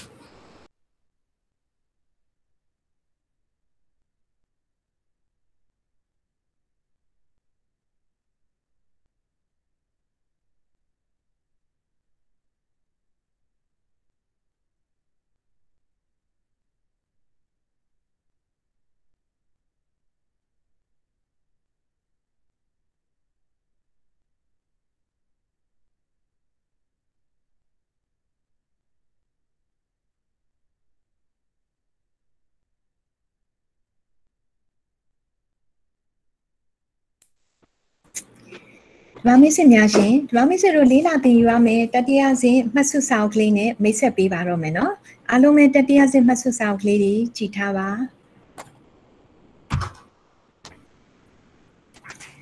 စာအုပ်ရဲ့အဖုံးလေးကိုယင်ကြည့်မယ်နော်စာအုပ်ဖုံးလေးကိုယင်ကြည့်မယ်ဆ iam မနဲ့အတူတူဖတ်ကြည့်ပါရှင်စာအုပ်ဖုံးလေးမှာပိဋကတ်၃ပုံနိကေစာတင်တိုင်းတောင်တကုံမြို့နယ်တဲ့ဓမ္မမိတ်ဆွေတင်နန်းသားတင်နန်းသူများရှင် ဆ iam မသည်ဗိဓမာတရားတော်တွေကိုစတင်ပို့ချပေးခဲ့တဲ့နေရာဌာနသည်ပိဋကတ်၃ပုံနိကေစာတင်တိုက်ကြီးပဲဖြစ်ပါတယ်။တကုံတောင်ပိုင်းမြို့နယ်မှာရှိပါတယ်ရှင်။အဲ့ဒီအကြောင်းတိုင်းမှာဆိုရင်တိပိဋကတရတိပိဋကကောဝိဒဆရာတော်ဖျားကြီးလည်းသတင်းသုံးတော်မူပါတယ်။ဟုတ်ကဲ့ပါအဲ့ဒီအကြောင်းမှာပဲဆ iam မသည်တင်နန်းတွေကိုပို့ချလာခဲ့တာပေါ့နော်။စုစုပေါင်း73နှစ်ရှိသွားပြီ။အဲ့ဒီအကြောင်းကို အခြေတည်ပြီးတော့မှနောက်ထပ်တင်နန်းတွေတင်နန်းတွေစင့်ပွားပို့ချတာဆိုရင်ရန်ကုန်တိုင်းဒေသထဲမှာဆိုရင်32ဌာနရှိပါတယ်။မြို့နယ်အသီးသီးနေရာဌာနအသီးသီးမှာပေါ့နော်။ဆ iam မနဲ့အတူဆရာဆ iam မတွေလက်တွဲပြီးတော့မှပို့ချပေးခဲ့တာပါ။ဒီမှာမိတ်ဆွေများအဲ့ဒီပိဋကတ်သုံးပုံနိကေစာတင်တိုင်းမှာပဲဆ iam မတို့စာမေးပွဲတွေစုပေါင်းဖြေကြတယ်။ပြီးလို့ရှိရင်အောင်မြင်တဲ့သူထူးချွန်တဲ့သူတွေကိုထူးချွန်စုနဲ့အောင်လက်မှတ်ပေးပွဲတွေဂုဏ်ပြုစုတွေကျင်းပတယ်။တင်နန်းနဲ့ပတ်သက်တဲ့အခမ်းအနားတွေမှန်သမျှအဲ့ဒီအကြောင်းတိုင်းမှာပဲအမြဲတမ်း ပြုလုပ်ဆောင်ရွက်ပါတယ်။ဒါကြောင့်ဆ iam မရဲ့မူလဗုဒ္ဓနေရာမှန်ဖြစ်ဆ iam မရဲ့မှတ်စုစာအုပ်တိုင်းစာအုပ်တိုင်းမှာအခုလိုမျိုးဒီအကြောင်းတိုက်ကလေးကိုမှတ်တမ်းပြုပြီးတော့ဆ iam မရေးထိုးထားခြင်းပဲဖြစ်ပါတယ်ရှင်။ဗမာမိတ်ဆွေများရှင်အဲ့ဒီပိဋကတ်သုံးပုံနိကေစာတင်တိုက်ရဲ့အောက်မှာတော့ဝေလယရဏပြီးဓမ္မတင်တန်းဆိုတဲ့ဒီ logo လေးကိုတွေ့မှာပါဒါကတော့ဆီယမတင်တန်းရဲ့အမှတ်တစိတ်ပဲဖြစ်ပါတယ်ရှင်ဟုတ်ကဲ့ နောက်ဓမ္မမိတ်ဆွေတို့ဒီမှာကြီးလိုက်မယ်ဆိုရင်ပုံစံလေးကတော့အဲ့ဒီမှာပေါ့နော်ပြုံမြင့်နုနယ်တွေကနဲ့ပြုံမြင့်နုနယ်နေတဲ့အမျိုးသမီးလေးကနေပြီးတော့မှတဖြည်းဖြည်းအိုပြီးတော့နောက်ဆုံးအိုတယ်နာတယ်တေဆုံးသွားပြီးတော့မှဒီလိုပုံစံလေးဖြစ်သွားတာကိုတတိယဆင့်ကမ္မထမ်းပိုင်းတတိယဆင့်ကျင့်စဉ်ပိုင်းနဲ့ပတ်သက်ပြီးတော့မှထင်ဟပ်ပြထားပေးခြင်းပဲဖြစ်ပါတယ်။စာလေးကိုဖတ်ကြည့်ပါအောင်ရှင်။အဖုံးရဲ့စာလေးမှာခန္ဓာ၅ပါးတို့ဤအဖြစ်အပျက်ကို မရှုမစင်ခြင်းမမြင်မူ၍အနှစ်တရာပတ်လုံးအသက်ရှည်ခြင်းထက်၎င်းခန္ဓာ၅ပါးတို့ဤအဖြစ်အပျက်ကို ကောင်းစွာစင်ခြင်းမြင်တော်သူဤတရက်မြအသက်ရှည်ခြင်းသည်တာ၍မြတ်၏တဲ့ဓမ္မမိတ်ဆွေများရှင်ခန္ဓာ၅ပါးဆိုတာဟောဒီနေ့3 4 5အခုသင်တန်းတက်နေတဲ့ဓမ္မမိတ်ဆွေ9ယောက်ရဲ့ငါးခန္ဓာကိုပြောတာမဟုတ်ဘဲနဲ့ယုံ nant ရှိတဲ့ဓမ္မမိတ်ဆွေတိုင်းဓမ္မမိတ်ဆွေတိုင်း အဲ့ဒီယုံ nant တွေကိုအစုပုံအားဖြင့်ဖွဲ့မယ်ဆိုရင်အစုအပုံ၅စုရှိတယ်။ဆီယမမှာယုံ nant ရှိတယ်လေ။ဆီယမကိုခန္ဓာဖွဲ့မယ်ဆိုရင်ခန္ဓာ၅ပါးရပါတယ်ရှင်။ဓမ္မမိတ်ဆွေသင်တန်းသားသင်တန်းလူတွေတဦးချင်းတဦးချင်းစီကိုခန္ဓာဖွဲ့မယ်ဆိုရင်လေခန္ဓာ၅ပါးရပါတယ်ရှင်။တဦးချင်းစီမှာလေအဲ့ဒီခန္ဓာ၅ပါးထဲမှာယုတ်ခန္ဓာကတစ်ပါးနာမ်ခန္ဓာက၄ပါးဟုတ်ပြီနော်နာမ်အစုအပုံက၄ပါးရုပ်အစုအပုံကတစ်ပါးဆိုပြီးတော့ အဲ့လိုမျိုးအစုအပုံလေးတွေဖွဲ့စည်းတာကိုခန္ဓာလို့ခေါ်ပါတယ်ဒါကြောင့်ခန္ဓာ၅ပါးဆိုတာဆ iam တို့မှာရှိတဲ့ရုပ်နာမ်ကြီးရဲ့ဖြစ်ချင်းပြက်ချင်းကိုမရှုဘူးမစင်ခြင်းဘူးဒီတိုင်းပဲနေသွားလိုက်တာအဲ့ဒီသူအနှစ်တရာပတ်လုံးအသက်ရှည်ပါတဲ့တူကတော့ဓမ္မမိတ်ဆွေများခန္ဓာ၅ပါးယုံနံနေရဲ့ဖြစ်ချင်းပြက်ချင်းအနိစ္စဒုက္ခအနတ္တ လက္ခဏာတွေကိုစင်ကျင်နှလုံးသွင်းပြီးနေထိုင်သွားလိုက်တာဓမ္မမိတ်ဆွေများသူ့ရဲ့စင်ကျင်မှုဒီတရက်တာကာလရှိပါတယ်တဲ့ဟုတ်ကဲ့ဆောစောကမစင်ကျင်မဲ့အနှစ်တရာပတ်နှစ်တရာကာလပတ်လုံးအသက်ရှင်နေတာထက်စင်ကျင်နှလုံးသွင်းပြီးတရက်မြအသက်ရှင်ရတဲ့သူဟာပို့ပြီးတော့မြတ်တဲ့ဓမ္မမိတ်ဆွေများဆ iam မရေအဲ့လိုဆိုရင်စင်ကျင်ကျင်လိုက်တာ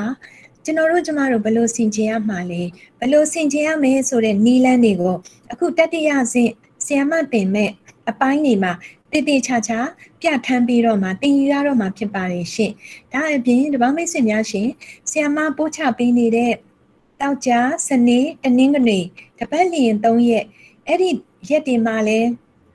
ဆ iam မကနေပြီးတော့ပဋ္ဌာန်းမြတ်ဒေသနာတော်တွေကိုပို့ချနေတယ်ဆိုတာဆ iam မတို့မှာရှိတဲ့ယုံ nant နေရဲ့အဲ့ဒီအနေဆဒုက္ခအနတ္တတွေကိုမြင်အောင်လို့ ပို့ချပေးနေတာပဲဖြစ်ပါတယ်။ဒါကြောင့်ဓမ္မမိတ်ဆွေများဆ iam မတို့ပဋ္ဌာန်းသင်တန်းတက်တာလဲအတူတူပဲအဘိဓမ္မာပထမဆင့်ဒုတိယဆင့်တတိယဆင့်တက်တာလဲအတူတူပဲအဘိဓမ္မာနဲ့ပဋ္ဌာန်းပဋ္ဌာန်းနဲ့ဘိဓမ္မာကခွဲခြားလို့မရပါဘူး။ဘာကြောင့်လဲဆိုတော့အဘိဓမ္မာသည်သူ့ထဲမှာပါဝင်တဲ့ပြီးတော့မှခုနှစ်ကျမ်းရှိပြီးတော့မှအဲ့ဒီခုနှစ်ကျမ်းထဲမှာပဋ္ဌာန်းကျမ်းကလည်းပါဝင်နေမဟုတ်ဘူးလားအဲကြောင့်ပဋ္ဌာန်းပဲတင်တင်ပြီးတော့မှပဲတင်တင်အားလုံးဟာအတူတူပဲဖြစ်ပြီးတော့မှဓမ္မမိတ်ဆွေတို့ဒီ ခန္ဓာတွေကိုဆင်ခြင်ခြင်းနဲ့နှလုံးသွင်းခြင်းနဲ့တရားအားထုတ်မှုမှာအထောက်ပံ့များစွာဖြစ်ခြင်းနဲ့ဆိုရင်အခုဆီယမတို့ပို့ချပေးနေတဲ့အဘိဓမ္မာသုံးစဉ်သင်တန်းနဲ့ပဋ္ဌာန်းမြတ်ဒေသနာတော်သင်တန်းတွေကိုလေ့လာသင်ယူနာကြပါ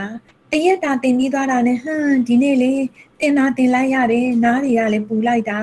ခါးတွေကလည်းညောင်းလိုက်တာဘာမှအကျိုးမရှိဘူးဆိုတာလုံးဝမဖြစ်စေရဘူးเนาะတင်ပြီးသွားတဲ့တရက်ကုံသွားတာနဲ့တေချာပေါက်အကျိုးရှိစေရမယ်လို့ဆ iam မတို့ဆရာဆ iam မတွေအားလုံးကနေအမခံတာဝန်ယူပါတယ်ရှင်ဓမ္မမိတ်ဆွေတို့ဘက်ကပဲတင်ပေးဖို့တာဝန်ယူပေးပါနာပေးဖို့တာဝန်ယူပေးပါเนาะဟုတ်ကဲ့ဓမ္မမိတ်ဆွေများရှင်ဆက်ပြီးတော့ကြည့်မယ်เนาะစာအုပ်ကို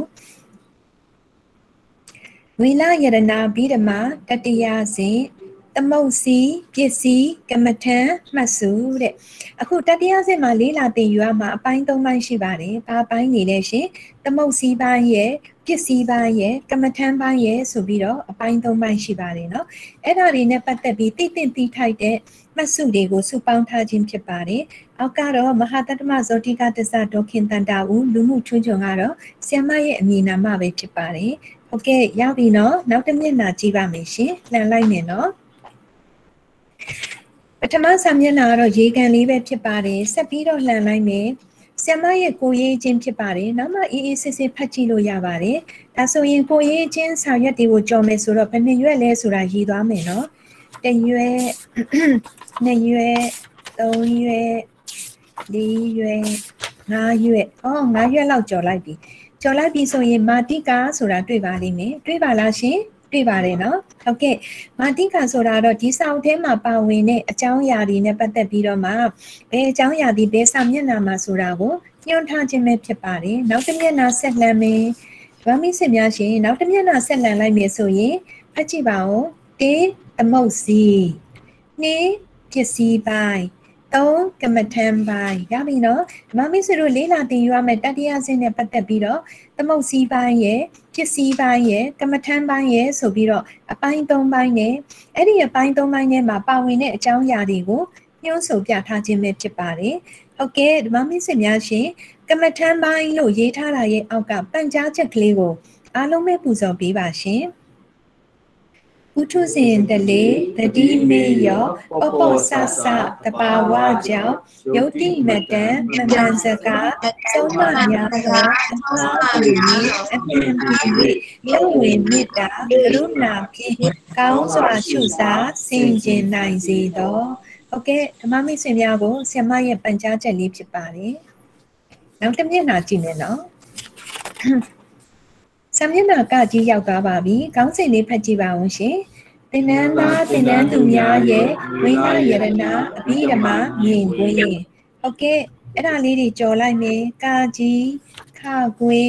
ကာငယ်ကာကြီးလေးမျက်နှာရှိတယ်ဓမ္မမိတ်ဆွေများနောက်မှအေးအေးဆေးဆေးဖတ်ကြည့်ပါဓမ္မမိတ်ဆွေတို့ကဲတော့တတိယဆင့်အဘိဓမ္မာစသည်တက်ဖူးတဲ့ သင်တန်းသားသင်တန်းသူတွေကနေပြီးတော့မှဒီသင်တန်းလေးကိုတက်ရောက်ရတဲ့အတွက်ထင်မြင်ယူဆချက်ကလေးတွေအကြံပြုချက်ကလေးတွေဝမ်းသာစကားလေးတွေရေးထားခြင်းပဲဖြစ်ပါတယ်နော်ဒီလိုမျိုးရေးပေးတဲ့ဓမ္မမိတ်ဆွေတွေအများကြီးပဲရှိပါတယ်ဓမ္မမိတ်ဆွေများဓမ္မမိတ်ဆွေတို့လည်းနောက်ကြရင်ဓမ္မမိတ်ဆွေတို့ရဲ့ကိုယ်တွေ့ခန်းစားချက်ကလေးတွေရေးပေးပါအောင်နော်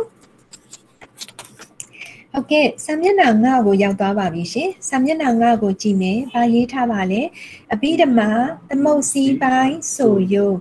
ဓမ္မမိတ်ဆွေများရှင်အဘိဓမ္မာတွေကိုသင်တဲ့အခါမှာဆရာမတို့တွေအမြဲတမ်းဆိုရိုးလေးတွေနဲ့သင်ပါတယ်။ဒါလေးတွေကိုရွတ်နေတယ်ပူဇော်နေတယ်ဆိုလို့ရှိရင်အဲ့ဒီမှာဓမ္မမိတ်ဆွေတို့တွေစာတွေကိုလည်းပို့ပြီးတော့မှတ်မိလာတယ်။နောက်ပြီးတော့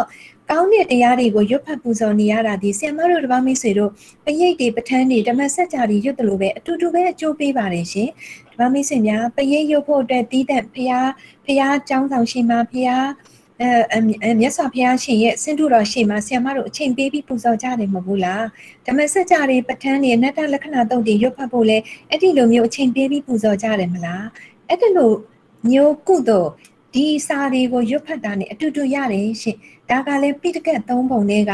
မြတ်စွာဘုရားရှင်ဟောကြားထားတဲ့တရားဓမ္မတော်တွေကိုဓမ္မမိတ်ဆွေတို့လေ့လာသင်ယူပြီးတော့သိရှိပြီးတော့လိုက်နာကျင့်သုံးထားအောင်ထုံထုံထားတဲ့စာပေတွေဖြစ်တာမို့လို့အတူတူပဲအကျိုးကျေးဇူးရပါတယ်ဒါထက်ပိုပြီးထူးခြားသွားတာကတော့ဓမ္မမိတ်ဆွေတို့တွေစာမေးပွဲတွေဖြေနိုင်တဲ့အထိပေါ့နော်ထုံနှုတ်ထားပေးတာမို့လို့ မိမိကိုယ်ကိုမိမိစမ်းစစ်ပြီးတော့လဲဟလာလေ့လာသင်ယူခြင်းစာမေးပွဲတွေဖြေခြင်းလဲပြုလုပ်နိုင်တာတွေ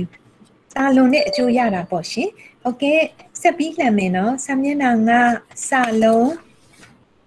စာလိန်စာခွဲစာမြင်ဆွဲညအော်တာတလင်းချိတ်ရောက်သွားပြီ။တာတလင်းချိတ်မှာတော့ဗာရေးထားလဲခေါင်းစဉ်လေးဖတ်ပါဦး။အဘိဓမ္မာပစ္စည်းပိုင်းဆိုယုံဆ iam မတို့ဓမ္မမိတ်ဆွေတို့လေ့လာရမယ့် နံပါတ်1အပိုင်းဖြစ်ပါတယ်နံပါတ်2အပိုင်းရဲ့ဆိုရိုးပါရှင်ပျက်စီးပိုင်းဆိုတာကတော့ဓမ္မမိတ်ဆွေများအကြောင်းတရားတွေအကျိုးတရားတွေအကြောင်းရဲ့စွမ်းရည်တွေနဲ့ပတ်သက်ပြီးတော့လေ့လာသင်ယူရမယ်အပိုင်းတော့โอเคဆက်ပြီးတော့လှမ်းမယ်ရှင်ဒါတလင်းကျိတ်ထားပါမယ်ထားရင်ထားထားရင်မဟုတ်နာကြီးနာကြီးရောက်သွားပြီရှင်စာမျက်နှာနာကြီးမှာခေါင်းစဉ်တစ်ခုဖတ်ပါအောင်ရှင်အဘိဓမ္မာကမ္မထံပိုင်းဆိုယုဓမ္မမိတ်ဆွေများရှင် ဆီယမဒီဓမ္မမိတ်ဆွေတို့ကအဘိဓမ္မာတတိယဆင့်ရဲ့အပိုင်း၃ပိုင်းထဲမှာဘယ်ပိုင်းကိုစတင်မှာလဲဆိုတော့ကမ္မထမ်းပိုင်းကိုစတင်မှာပါဆီယမရေဘာဖြစ်လို့နောက်ဆုံးပိုင်းကစတင်တာလဲလို့မေးစရာရှိတယ်ဒီလိုပါဓမ္မမိတ်ဆွေများရေ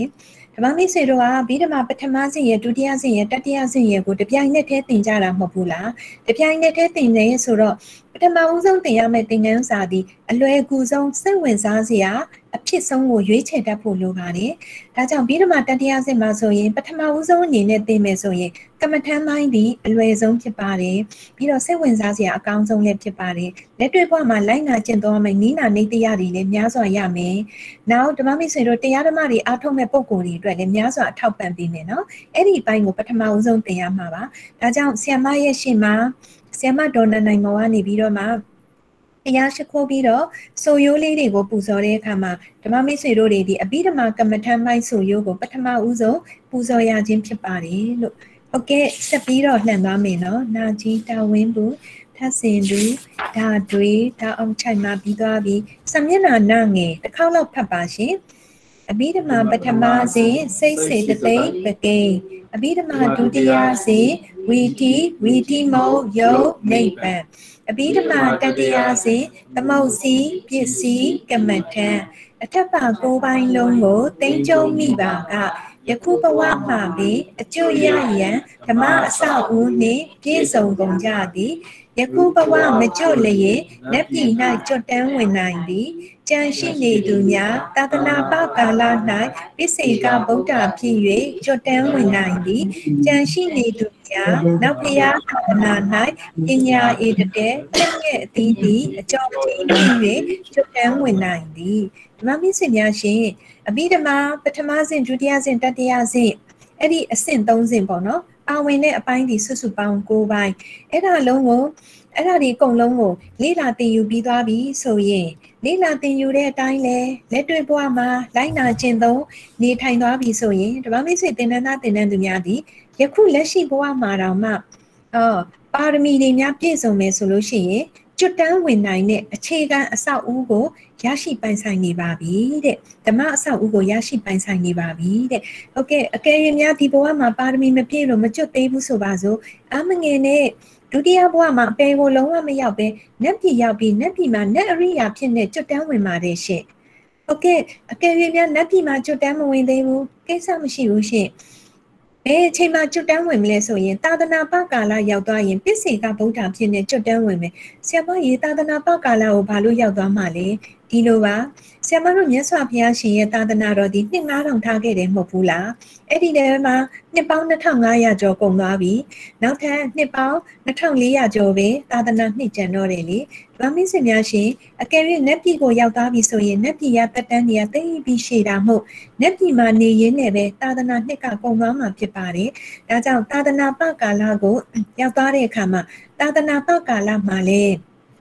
သောတာပန်တဂရာကအနာဂယဟန္တာတော့မရှိဘူးသာသနာပကာလမှာကျွတ်တန်းဝင်နိုင်တဲ့ပုဂ္ဂိုလ်ကပစ္စေကဗုဒ္ဓပဲဖြစ်တာမို့ကိုဖြစ်စည်းထားတဲ့ပါရမီတော်တွေဒီသာသနာပကာလမှာပစ္စေကဗုဒ္ဓဖြစ်နေကျွတ်တန်းဝင်နိုင်တဲ့ရှင်ဟုတ်ကဲ့နံပါတ်၄ကတော့အကယ်၍သာသနာပကာလမှာတော့မှမကျွတ်သေးဘူးပဲထားတဲ့နောက်ဖျားသာသနာနောင်ပွင့်မဲ့အရိမစ်တွေရအစရှိတဲ့ဖျားရှင်တွေရဲ့လက်ထက်မှာမိမိဒီကျွတ်တန်းဝင်တဲ့အခါမှာရိုးရိုးကျွတ်တန်းဝင်မှာမဟုတ်ဘဲနဲ့ဟော ပညာယာမအေတတဲ့တို့တရားဟောပြောပြတာတဲ့နေရာမှာအေတတဲ့တို့တရားကိုပထမဦးဆုံးသိတဲ့နေရာမှာအေတတဲ့တို့အဲ့ဒါလိုအေတတဲ့ဘွဲ့တူတွေပိုင်ဆိုင်ပြီးတော့မှကျွတ်တန်းဝင်ပါတယ်။ဗမိတ်ဆွေများရဲ့အဘိဓမ္မာတွေကိုလေ့လာသင်ယူရတာဘလောက်တောင်မှအားတက်စရာဝမ်းမြောက်စရာကျင့်တတ်စရာကောင်းလိုက်လေ။ဟုတ်ပြီနော်။ဒါလေးသိသွားပြီဆိုနောက်တစ်မျက်နှာကြည့်ပါရှင်။စာမျက်နှာ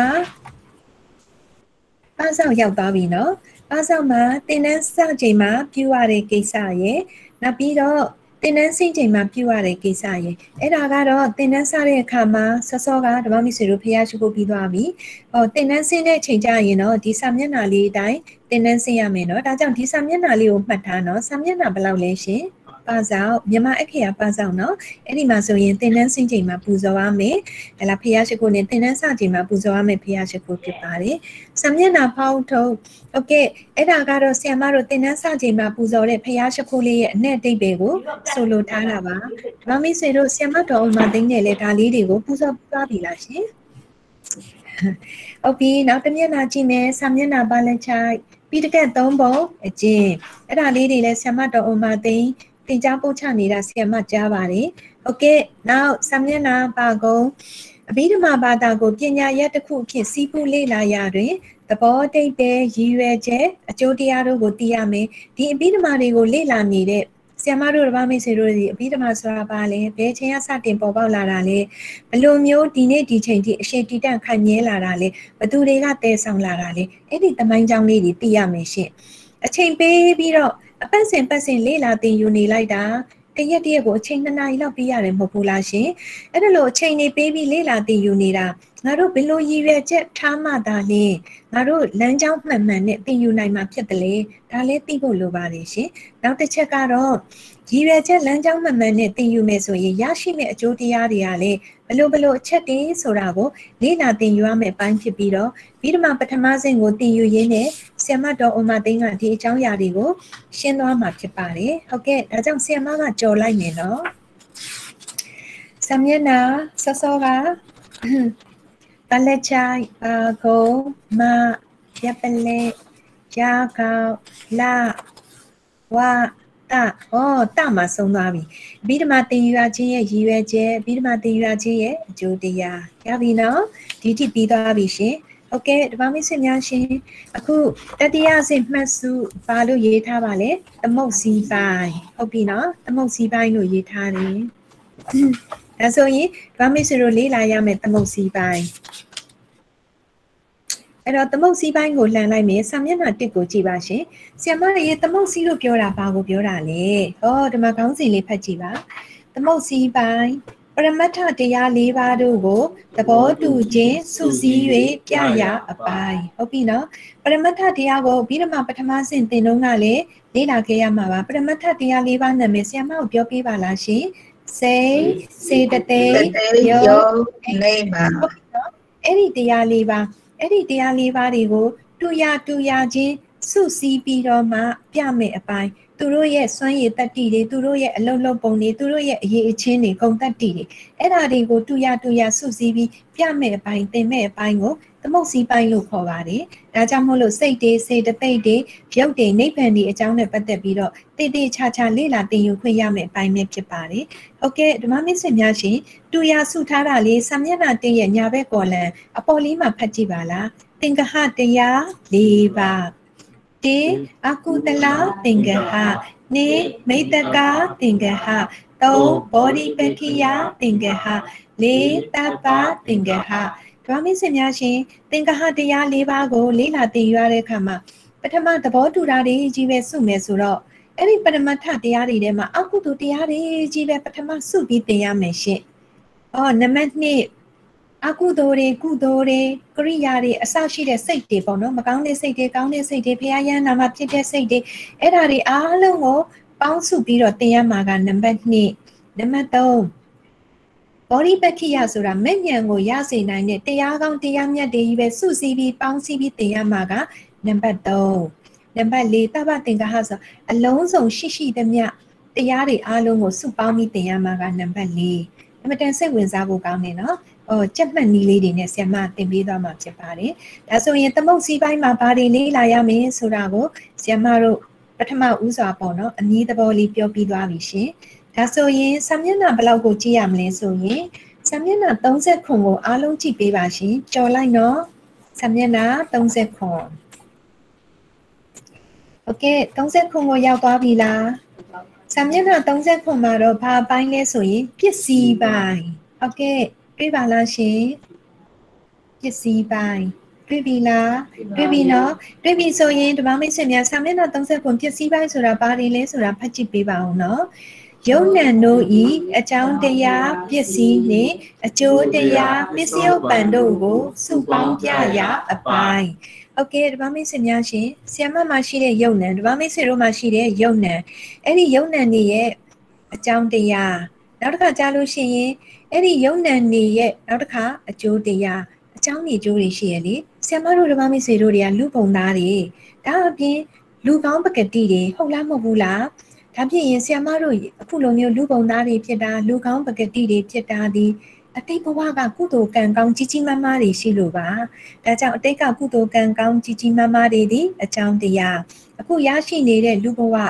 အခုရရှိနေတဲ့အသိဉာဏ်အခုရရှိနေတဲ့ ယုံ nant ခန္ဓာရဲ့ပြည့်စုံခြင်းအဲ့ဒါတွေကဘာတွေလဲအကျိုးတရား။ဗမင်းစင်များရှင်ဆ iam တို့ပတ်ဝန်းကျင်မှာအပေပုံသားတွေတဲ့တရစ္ဆန်မျိုးမျိုးတွေတွေ့တယ်မလား။တရစ္ဆန်မျိုးမျိုးတရစ္ဆန်ခန္ဓာတရစ္ဆန်ဘဝတရစ္ဆန်ရဲ့ဆင်းရဲမှုတွေရနေတဲ့အဲ့ဒီအကျိုးဒီအတိတ်ဘဝကအကုသိုလ်အကြောင်းတရားတွေရှိလို့ပါရှင်။အကုသိုလ်စိတ်အကုသိုလ်အကြောင်းတရားတွေပြုခဲ့လို့အခုအကုသိုလ်ရဲ့အကျိုးတရစ္ဆန်ဘဝတရစ္ဆန်ဘုံတရစ္ဆန်ဆင်းရဲတွေမျိုးမျိုးဖြစ်နေကြတာလေ။အဲ့ဒီလိုမျိုးပေါ့။ဒါကြောင့်အပေလေးပုံသားတွေ သူဂရိပုံသားတွေဒီလိုမျိုးမတူခြားနာကွဲပြားတာဘာကြောင့်လဲသူ့မှာလည်းယုံနေကို့မှာလည်းယုံနေစဉ်းစားကြည့်ပါဦးနှစ်သားနဲ့သမီးတွေမှာလည်းယုံနေနှစ်မျိုးတည်းပဲကျမကြီးတွေမှာလည်းယုံနေဆရာမတို့တပားမိတ်ဆွေတို့မှာလည်းယုံနေတရေတွေတစေတွေ နောက်တရစ္ဆန်တွေငရဲသားတွေအတူတကယ်တွေမှာလည်းယုံနေနေဒါပေမဲ့ယုံနေရရှိပုံချင်းကမတူကြဘူးဒါတွေဒီဘာတွေကွဲပြားလို့လဲဆိုတော့အကြောင်းတရားတွေကွဲပြားခဲ့တာ哦အဲ့ဒီအကြောင်းတွေအကျိုးတွေကိုစမ်းစစ်ပြီးတော့တည်တည်ချာချာလေးလာတည်ယူခွင့်ရမှာဒီဓမ္မမိတ်ဆွေများပါပိုင်းလေပစ္စည်းပိုင်းဓမ္မမိတ်ဆွေများရှင်အဲ့ဒီပစ္စည်းပိုင်းထဲမှာဓမ္မမိတ်ဆွေတို့လေးလာရမယ့်ပိုင်းနဲ့ပတ်သက်ပြီးအောက်မှာရေးထားပါတယ်ဖတ်ကြည့်ပါဦးပစ္စည်းပိုင်းတွင်လေးလာရများ လေးလာရန်များတင်းပြိဿသမုတ်ပတ်နှင်းပဋ္ဌာန်းနဲ့ပင်ရက်ကဲကြည့်ပါဦးပြိဿသမုတ်ပတ်ပါတခါလေးလေးလာရမယ်နော်တတိယဆင့်ကိုလေးလာတာဒီဓမ္မမိတ်ဆွေတို့ပြိဿသမုတ်ပတ်သင်တန်းတက်တယ်ပြိဿသမုတ်ပတ်တရားတော်နာတယ်ဒီလိုတွေပြောကြတယ်မလားဒီတတိယဆင့်ထဲမှာပြိဿသမုတ်ပတ်လေချောင်းတရားလေချောင်းတရားဆိုတာဒီလေဘင်းကိုပြောတာမဟုတ်ဘူးဒီလေချောင်းကိုပြောတာမဟုတ်ဘူးเတန်တရားလေချောင်းတရားအဲ့ဒါကိုပြောတာ။အော်လေချောင်းတရားပြိဿသမုပ္ပတ်လို့ခေါ်တဲ့လေပတ်နေတဲ့တရားတွေနောက်ပြီးတော့ပဋ္ဌာန်းလို့ခေါ်တဲ့အကြောင်းအကျိုးပြည့်ညက်တရားတွေပေါ့နော်။အဲ့ဒါတွေကိုလေ့လာခွင့်ရမှာပါပိုင်းပါလေရှင်။ပစ္စည်းပိုင်းဆရာမရေဒါဆိုရင်လေတတိယဆက်မှာပဋ္ဌာန်းပါတယ်ဆိုတော့ကျွန်တော်တို့ကျမတို့တွေဆရာမတင်တဲ့ပဋ္ဌာန်းဒေသနာတော်သင်တန်းကိုတက်ရင်အတူတူပဲလားလို့မေးစရာရှိတယ်။မမေ့ဆွေများတူတော့တူတယ်။အတူတာကတော့ ပစ္စည်းတွေနာမည်တော့တူတယ်။မတူတာကတော့သင်ပုံသင်နည်းမတူဘူး။အထဲမှာဆ iam တို့တွေတည်တည်ချာချာလေ့လာသင်ယူရတယ်ပေါ့နော်။ဟလာအကြောင်းအရာတွေကြတော့တာလွန်တာပုံမိုတာထူးခြားတာကတော့ပဋ္ဌာန်းဒေသနာတော့သင်တန်းပေါ့နော်ဟုတ်ကဲ့ပါဒီမှာတော့အနှစ်ချုပ်ပေါ့ရှင်ဒါဆိုရင်ဒီမှာမိတ်ဆွေများပစ္စည်းပိုင်းမှာလေးလာရမယ့်အကြောင်းအရာခေါင်းစဉ်နှစ်ခုသိပြီးသွားပြီနော် နောက်ထပ်စာမျက်နှာကြည့်ပါမယ်နောက်ထပ်စာမျက်နှာကတော့စာမျက်နှာ61ကိုကြည့်ပေးပါရှင်စာမျက်နှာ61 61မဟုတ်သေးဘူးเนาะစာမျက်နှာ89 89ကိုကြည့်မယ်စာမျက်နှာ89 89မှာဘာရေးထားပါလဲရှင်ကမ္မထမ်းပိုင်းအားလုံးပဲ89ကိုကြည့်ပြီးသွားပြီလားကြည့်ပြီးသွားပြီเนาะဟုတ်ကဲ့ဘာပိုင်းလို့ရေးထားလဲကမ္မထမ်းပိုင်းဖတ်ကြည့်ပါဦး ကမ္မထံမျိုးမျိုးကိုပြဆိုရာအပိုင်းဟုတ်ပြီနော်ကမ္မထံမျိုးမျိုးကို ပြဆိုရာအပိုင်းဆိုတော့ဆရာမတို့တွေကမ္မထံဆိုတာဘာတွေကိုသင်ရမလဲဟော အဲအရင်စိတ်ဝင်စားဖို့ကောင်းတယ်အဲလိလာတည်နေတဲ့ဓမ္မမိတ်ဆွေတို့တွေဒီဝိပဿနာတရားတွေအားထုတ်ကြတယ်အိမ်မှာလည်းမိမိတို့စွမ်းနိုင်သမျှပေါ့နော်ပရိပဋ္ဌာန်ဓမ္မစကြာတွေကြွကြဖတ်ကြပူဇော်ကြတယ်ဟောပဋ္ဌာန်းချမ်းကြီးတွေလည်းပူဇော်ကြကြတယ်ပူဇော်ကြတယ်လေအဲ့ဒီခါဒီအားလုံးဒီဘာတွေလဲဆိုကမ္မထန်နေပေါ့ရှင့်အဲ့ဒီကမ္မထန်နေနဲ့ပတ်သက်ပြီးနီးမှန်လမ်းမှန်စနစ်မှန်နဲ့တေးသေးချာချာလုတ်တက်အောင်လို့ပို့ချပေးမယ်တင်နန်းဒါမှလိုရာခရီးကိုတက်တက်မတ်မတ် လင်းလင်းမြန်မြန်ရောက်နိုင်တဲ့အပိုင်းဖြစ်ပါတယ်အဲ့ဒါပါပိုင်းလဲဆိုတော့ကမ္မထံပိုင်းရှေ့ပိုင်းကတော့အစချီထားတာပေါ့ကမ္မထံပိုင်းမှာအဓိကသင်ရမှာကတော့စာမျက်နှာ60ကိုကြည့်လိုက်ပါစာမျက်နှာ60 Okay ဒီမှာမိတ်ဆွေများရှင်စာမျက်နှာ60ရဲ့ညာဘက်ကော်လံညာဘက်ကော်လံအပေါ်လေးကိုဖတ်ကြည့်လိုက်ပါကမ္မထမ်းပိုင်းတွင် လေနာယံဘာဝနာနှစ်ပါးရှိသည်နံပါတ်1 သမထဘာဝနာအောက်ကိုကြည့်လိုက်မယ်နှစ်ဝိပဿနာဘာဝနာတွေ့လားရှင်။ဒါကြောင့်ဓမ္မမိတ်ဆွေတို့ပထမဆုံးလေးလာသင်ရမယ့်ကမ္မထမ်းပိုင်းမှာဆိုရင်အပိုင်းနှစ်ပိုင်း။ဘာနဲ့ပါလဲ။သမထဘာဝနာနဲ့ဝိပဿနာဘာဝနာ။ရပြီနော်။အဲ့တော့သမထကမ္မထမ်းနေအကြောင်းဝိပဿနာကမ္မထမ်းနေအကြောင်းကိုလေးလာသင်ယူခွင့်ရမှာဒီပါပိုင်းလေကမ္မထမ်းပိုင်းနဲ့ဖြစ်ပါတယ်။အဲ့တော့ဆရာမတို့တွေဟဲ့လားအခု ပထမဆုံးလေ့လာသင်ယူရမှာဒီပါပိုင်းလေဆိုတော့ကမ္မထမ်းပိုင်းဖြစ်ပါတယ်ဒီမှာမြင်စင်များစာမျက်နှာ89ပြန်ကြည့်မယ်နော်ရှေ့ကိုပြန်ကြည့်မယ်နော်ကမ္မထမ်းပိုင်းခဏလေးပါရှင်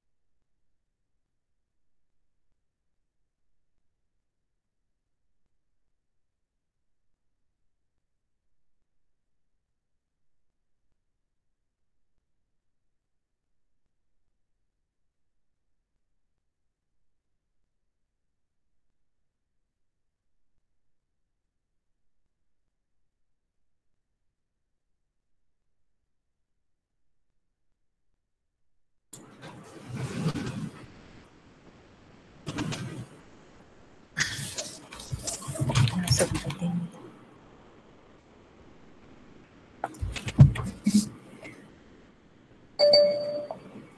โอเคဒီပါမိတ်ဆွေများရှင်အခုစာမျက်နှာ89အားလုံးလေးကြည့်ပေးပါနော်စာမျက်နှာ89ကမ္မထမ်းပိုင်းအပြီးဓမ္မတတိယဆင့်မှာအပိုင်း၃ပိုင်းရှိပါတယ်သမုတ်စီးပိုင်းပစ္စည်းပိုင်းကမ္မထမ်းပိုင်းဒီပါမိတ်ဆွေတို့အခုပထမဆုံးလေ့လာရမှာပါပိုင်းလဲကမ္မထမ်းပိုင်းရပြီနော်စာမျက်နှာ89အားလုံးပူဇော်ပါရှင်ကမ္မထမ်းပိုင်း ကမ္မထမ်းအမျိုးမျိုးကို ပြဆိုရာအပိုင်းဆက်ပူဇော်ပါသာသနာမြတ်စွာဘုရားရှိ၏အဆုံးအမတိတ်ခါကျင့်စဉ်ဟုတ်ကဲ့ပထမဦးဆုံးကမ္မထမ်းပိုင်းကို လေ့လာတဲ့အခါမှာဆရာမတို့သိထားမယ့်အကြောင်းအရာလေးတွေရှိတယ်နော်ဘာလဲဆိုလို့ရှိရင်သာသနာဆိုတာလည်းသိထားဖို့လိုပါတယ်တဲ့နောက်တိတ်ခါဆိုတဲ့ကျင့်စဉ်တွေလည်းသိသိဖို့လိုပါတယ်ဘာကြောင့်လဲဆိုတော့ဆရာမတို့ကမ္မထမ်းပိုင်းမှာ ဒီကျင့်စဉ်ပိုင်းတွေကိုအဓိကသင်မှာဖြစ်တဲ့အတွက်ကြောင့်ပေါ့နော်ဒါတွေကိုအရင်ဆုံးသိထားရန်လိုပါတယ်တဲ့ဟုတ်ကဲ့ဓမ္မမိတ်ဆွေများအောက်မှာကြည့်မယ်ဆိုရင်ခေါင်းစဉ်နှစ်ခုကိုရှင်းပြီးရေးထားပါတယ်ရှင်သာသနာ၃ပါးနဲ့တိတ်ခါ၃ပါးတွေ့ပါလားရှင်တွေ့တယ်နော်သာသနာ၃ပါးနဲ့တိတ်ခါ၃ပါးဟုတ်ကဲ့အားလုံးသာသနာ၃ပါးကိုပူဇော်ပေးပါရှင်အတိတိလသာသနာအတိစိတ်တသာသနာအတိပညာသာသနာနောက်တော့ဖတ်ပါရှင် အတိတိလသာသနာအတိစိတ်တသာသနာအတိပညာသာသနာဒီပါမိတ်ဆွေများရှင်ထူးခြားတာကလေသာသနာရဲ့ရှေ့မှာသုံးခုထည့်လိုက်တာတော့ဗာလဲဆိုတော့အတိတိလရဲ့အတိစိတ်တရဲ့အတိပညာရဲ့ဆိုတဲ့သုံးမျိုးကိုဓမ္မမိတ်ဆွေတို့တွေ့လိုက်တယ်နော်အဲ့ဒါလေးပထမမှတ်ထားပေးပါဟုတ်ကဲ့တိတ်ခသုံးပါးကိုဆရာမကိုပူဇော်ပေးပါအောင်ရှင်အတိတိလတိတ်ခအတိစိတ်တတိတ်ခ အတိပညာတိတ်ခနောက်တစ်ခါပူဇော်ပါရှင်အတိတိလတိတ်ခအတိစိတ်တတိတ်ခအတိပညာတိတ်ခ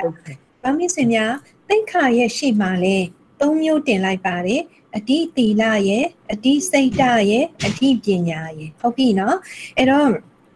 ဒီအတိတီလတွေအတိစိတ်တတွေအတိပညာတွေကဘာတွေလဲဆိုတာဆရာမတို့အောက်မှာဆက်ကြည့်မယ်နော်သာသနာဆိုတာတော့ဓမ္မမိတ်ဆွေတို့ဆရာမတို့သိထားပြီးသားမြတ်စွာဘုရားရှင်ရဲ့အဆုံးအမအဲ့ဒါတွေကိုဘာလို့ခေါ်လဲသာသနာအဲ့ဒါကိုမှဆရာမတို့ကတိတ်ခါဆိုတာကဘာပြောတာလဲအာဒီလူကတိတ်ခါမရှိဘူးသူကတိတ်ခါနဲ့ပြည့်စုံနေနော်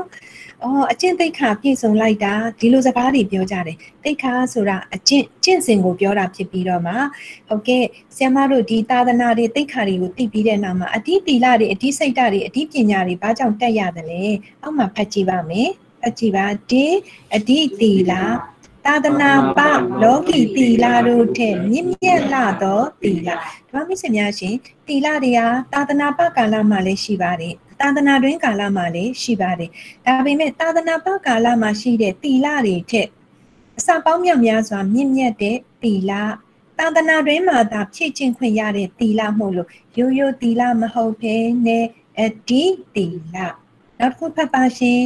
အဒီစိတ်ဓာတ် သာသနာပါလောကီတမာတိတို့ထက်မြင့်မြတ်လာသောတမာတိအဲ့တော့စိတ်ဓာတ်ဆိုတာကတမာတိလို့ခေါ်တဲ့စိတ်တည်ငြိမ်မှုကျင့်စဉ်ကိုပြောတာဖြစ်ပါတယ်ရှင်။မမစ်စင်များရှင်အဲ့တော့သာသနာပကာလမှာလည်း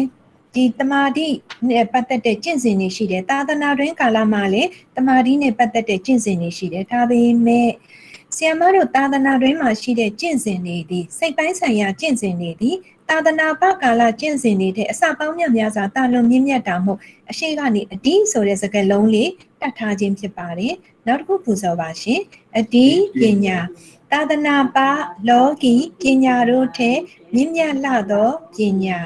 သာသနာပကာလမှာသိမြင်စရာပညာသာသနာတွင်ကာလမှာသိမြင်စရာအသိဉာဏ်ပညာတွေမှာနှစ်ခုရှင်လိုက်ရင်သာသနာတွင်သည်ဆဆရရတာလွန်နာမှုအရှိကနေအတိလေးထည့်လိုက်တယ်။ဒါဖြစ်ရင် သီလာတမာတိပညာသည်သာသနာပကာလမှာလည်းရှိတယ်။သာသနာတွင်ကာလမှာလည်းရှိတယ်။ဒါဖြစ်ရင်ဘယ်ဟာပိုပြီးမြတ်ပါလဲရှင်။သာသနာတွင်ကာလကပိုပြီးတော့မြတ်တာမှုလို့အရှိရဘယ်စကလုံးလေးထည့်ပါလဲရှင်။အဒီဟုတ်ပြီနော်ဒါဆိုရင်ဆ iam မမေးမယ်သာသနာတွင်မှာရှိတဲ့သီလသမာဓိပညာ၃မျိုးကို ပြောပြပါအဓိသီလအဓိစိတ်တာအဓိပညာ သာသနာတွင်မှာရှိတဲ့သိက္ခာ၃မျိုးကို ပြောပြပါအဓိသီလအဓိစိတ်တာအဓိပညာရပြီနော်အဓိဆိုတဲ့စကားလုံးလေးဒီအစာပေါင်းများများစွာတာလွန်လို့အမွှန်းတင်ထားခြင်းပဲဖြစ်ပါတယ်။ဟုတ်ကဲ့မမေ့စင်များဒါဆိုရင်သာသနာတွင်မှာရှိတဲ့သီလသမာဓိပညာလို့ခေါ်တဲ့အဓိတက်လို့ရတဲ့တရားတွေကိုဆရာမတို့လိုက်နာကျင့်သုံးခွင့်ရတော့မယ်နော်။လိုက်နာကျင့်သုံးနည်းတွေလည်းသိခွင့်ရတော့မယ်နော်မမေ့စင်များ ဟုတ်ကဲ့ပါနောက်ထပ်ထပ်ပြီးသိစရာတွေလိုပါသေးတယ်တဲ့တတိယဆင့်ကိုလေ့လာမယ်ကမ္မထမ်းပိုင်းကိုလေ့လာမယ်ဆိုရင်အဲ့ဒါကတော့ခေါင်းစဉ်လေးဖတ်ကြည့်မယ်ကိလေသာ၃ပါးတွေ့လားရှင်နောက်တစ်ခါဒီဘက်မှာခေါင်းစဉ်လေးနောက်တစ်ခုဖတ်မယ်တဟန်၃ပါးဒီနားမှာရေးထားတာတော့ပေနီ၃ပါးတွေ့တယ်နော်အဲ့တော့ကိလေသာ၃ပါးလည်းရှိတယ်ကိလေသာ၃ပါးကိုပေပုံပေနီ၃ပါးလည်းရှိတယ်အဲ့ဒါကိုလေ့လာရပါမယ်ဟုတ်ကဲ့ဓမ္မမိတ်ဆွေများရှင် ကိလေသာ၃ပါးကိလေသာ၃ပါးဆင်မတိုင်ပြီးတော့မယ်နော်ဓမ္မမိတ်ဆွေများလိုက်ပါပူဇော်ပေးပါရှင်ဝိတိတ်ကမကိလေသာကိလေသာပရိယုဌာဏကိလေသာပိယုဌာနာကိလေသာအနုတယကိလေသာဒုတရာကိလေသာဟုတ်ကဲ့ပြန်ပြီးတိုင်ပေးမယ်နောက်တစ်ခါဖတ်ပါရှင်ဝိတိတ်ကမကိလေသာဝိတေကမကိလေသာပရိယုဌာဏကိလေသာပိ ယုဌာနာကိလေသာအနုတယကိလေသာဒုတရာကိလေသာဟုတ်ပြီနော်အနုတယလို့ဖတ်မယ်နော်ရကောက်ဆိုရင်တော့ရလို့အတန်ထွက်ရမယ်ရက်ပလက်ဆိုရင်တော့ရလို့ပဲအတန်ထွက်ရမယ် ဟုတ်ကဲ့ဓမ္မမိတ်ဆွေများအားလုံးကိလေသာ၃ပါးကိုပူဇော်ကြည့်ပါရှင်ဝိတေကမကိလေသာပရိယုဌာဏကိလေသာအနုတယကိလေသာဟုတ်ပြီနော်ကိလေသာ၃မျိုးကိုသိသွားပြီအဲ့ဒါလေးတွေကလည်းဆရာမတို့အမြဲသိထားရမယ့်အရာတွေမဟုတ်လို့နှုတ်ကြအောင်တစ်ခေါက်လောက်ပြန်ပူဇော်ပါအောင်ရှင်ဝိတေကမကိလေသာပရိယုဌာဏကိလေသာအနုတယကိလေသာနောက်တစ်ခေါက်နောက်ဆုံးပူဇော်ပါအောင် ဝိတေကမကိလေသာပရိယုဌာဏကိလေသာအနုတယကိလေသာကိလေသာ၃မျိုးရှိရယ်နော်ဒါဖြစ်ရင်ကိလေသာ၃မျိုးကိုနံပါတ်1ကိုဖတ်ကြည့်ပါဝဝိတိတ်ကမကိလေသာကာယကံဝစီကံတို့၌လှုပ်ရှားထကြွလာသောကိလေသာဟုတ်ပြီဆက်ဖတ်မယ်ပရိယုဌာနာကိလေသာ မနောကံ၌လှုပ်ရှားထကြွလာသောကိလေသာ နံပါတ်3ဆက်ဖတ်ပါအနုတယကိလေသာတတ္တဝါတို့ဤခန္ဓာအစဉ်တန်တန်၌မဲ့ဖြင့်မပယ်ရသေးသမျှကိဝတ်နေသောကိလေသာဒါဖြစ်ရင်ကိလေသာ၃မျိုးရှိတယ်ကိလေသာ၃မျိုးရဲ့ပါဠိနာမည်လေးတွေကိုပူဇော်ပြီးသွားပြီသူကနေပြီးတော့အဓိပ္ပာယ်လေးတွေပူဇော်လိုက်တော့နံပါတ်1ဝိတိတ်ကမကိလေသာကကာယကံမြောက်ဝစီကံမြောက်ထကြွတောင်းချမ်းတဲ့ကိလေသာတွေရှင့်နံပါတ်2ပရိယုဌာဏကိလေသာကတော့ မနောကံထဲမှာလှုပ်ရှားထကြွတောင်းချမ်းနေတဲ့ကိလေသာကိုပြောတာတဲ့နံပါတ်3အနုတ္တယကိလေသာဆိုတာကဓမ္မမိတ်ဆွေများရှင်ဆ iam မပဲဖြစ်စေဓမ္မမိတ်ဆွေတို့ပဲဖြစ်စေမဲ့မရသေးဘူးဆိုရင်အိုးတဏှာအစင်တွေကပါလာတဲ့ဆ iam မတို့ရဲ့အစ္ဆတန်တန်တမှာကိန်းအောင်နေတဲ့ကိလေသာထောင်အထုအဲ့ဒါတွေကိုနည်းနည်းမှမပယ်နိုင်သေးဘူးသူကြည့်ရင်တော့ငြိမ်ငြိမ်လေး အော်အင်ဒရီတိတ်ခါရှိရှိနေတော့ရှိနေတာပဲဒါပေမဲ့သူ့ရင်ထဲမှာတော့ကိလေသာတွေကတင်းပြည့်ချက်ပြည့်အများကြီးအစုအပုံရာထောင်သိန်းတန်းကြိရှိတယ်ဟုတ်ပြီနော်ဘာကြောင့်လဲဆိုတော့ तू မမဲ့မရသေးတာ哦မင်းနဲ့မှမပယ်တတ်ရသေးတာ哦ဒါကိုပြောတာပါဓမ္မမိတ်ဆွေများဟုတ်ကဲ့ရှင်အဲ့တော့ကိလေသာ၃မျိုးကိုသိသွားပြီဓမ္မမိတ်ဆွေများနံပါတ်1ကိလေသာ ကာယကံဝစီကံတို့၌လှုပ်ရှားထကြွသောကိလေသာရဲ့နံပါတ်2မနောကံမှာလှုပ်ရှားထကြတဲ့ကိလေသာရဲ့ဆိုတာဓမ္မမိတ်ဆွေတို့အပြီးဓမ္မရက်တို့သင်တန်းတော့ကသင်မှုပါတယ်ရှင့်အဲ့ဒါတွေကတော့ဘာတွေပြောတာလဲဆိုတော့ကာယဒုစရိုက်၃ပါးရဲ့ဝစီဒုစရိုက်၄ပါးရဲ့မနောဒုစရိုက်၃ပါးရဲ့ကိုပြောတာဖြစ်ပါတယ်လိုက်ဆိုပါရှင်အဲဒုစရိုက်10ပါးရှိပါသည်ဒုစရိုက်10ပါးရှိပါသည်ကာယဒုစရိုက်3ပါးကာယဒုစရိုက်၃ပါးဝစီဒုစရိုက်၄ပါးဝစီဒုစရိုက်၄ပါးမနောဒုစရိုက်3ပါးနောဒုစရိုက်၃ပါးရပြီနော်ဒုစရိုက်စုစုပေါင်းဘယ်နှပါးလဲ10ပါးဟုတ်ကဲ့ဆ iam မတန်ပေးတာလိုက်ဆိုပါကာယဒုစရိုက်3ပါးဆိုသည်မှာကာယဒုစရိုက်၃ပါးဆိုဒီမှာပါဏာတိပါဒအနာတိပါဒအာဒိဏဒါနအာ ရိနာနာကာမိစုမိစ္ဆာစာရကံမေတုမိစ္ဆာမစ္ဆာ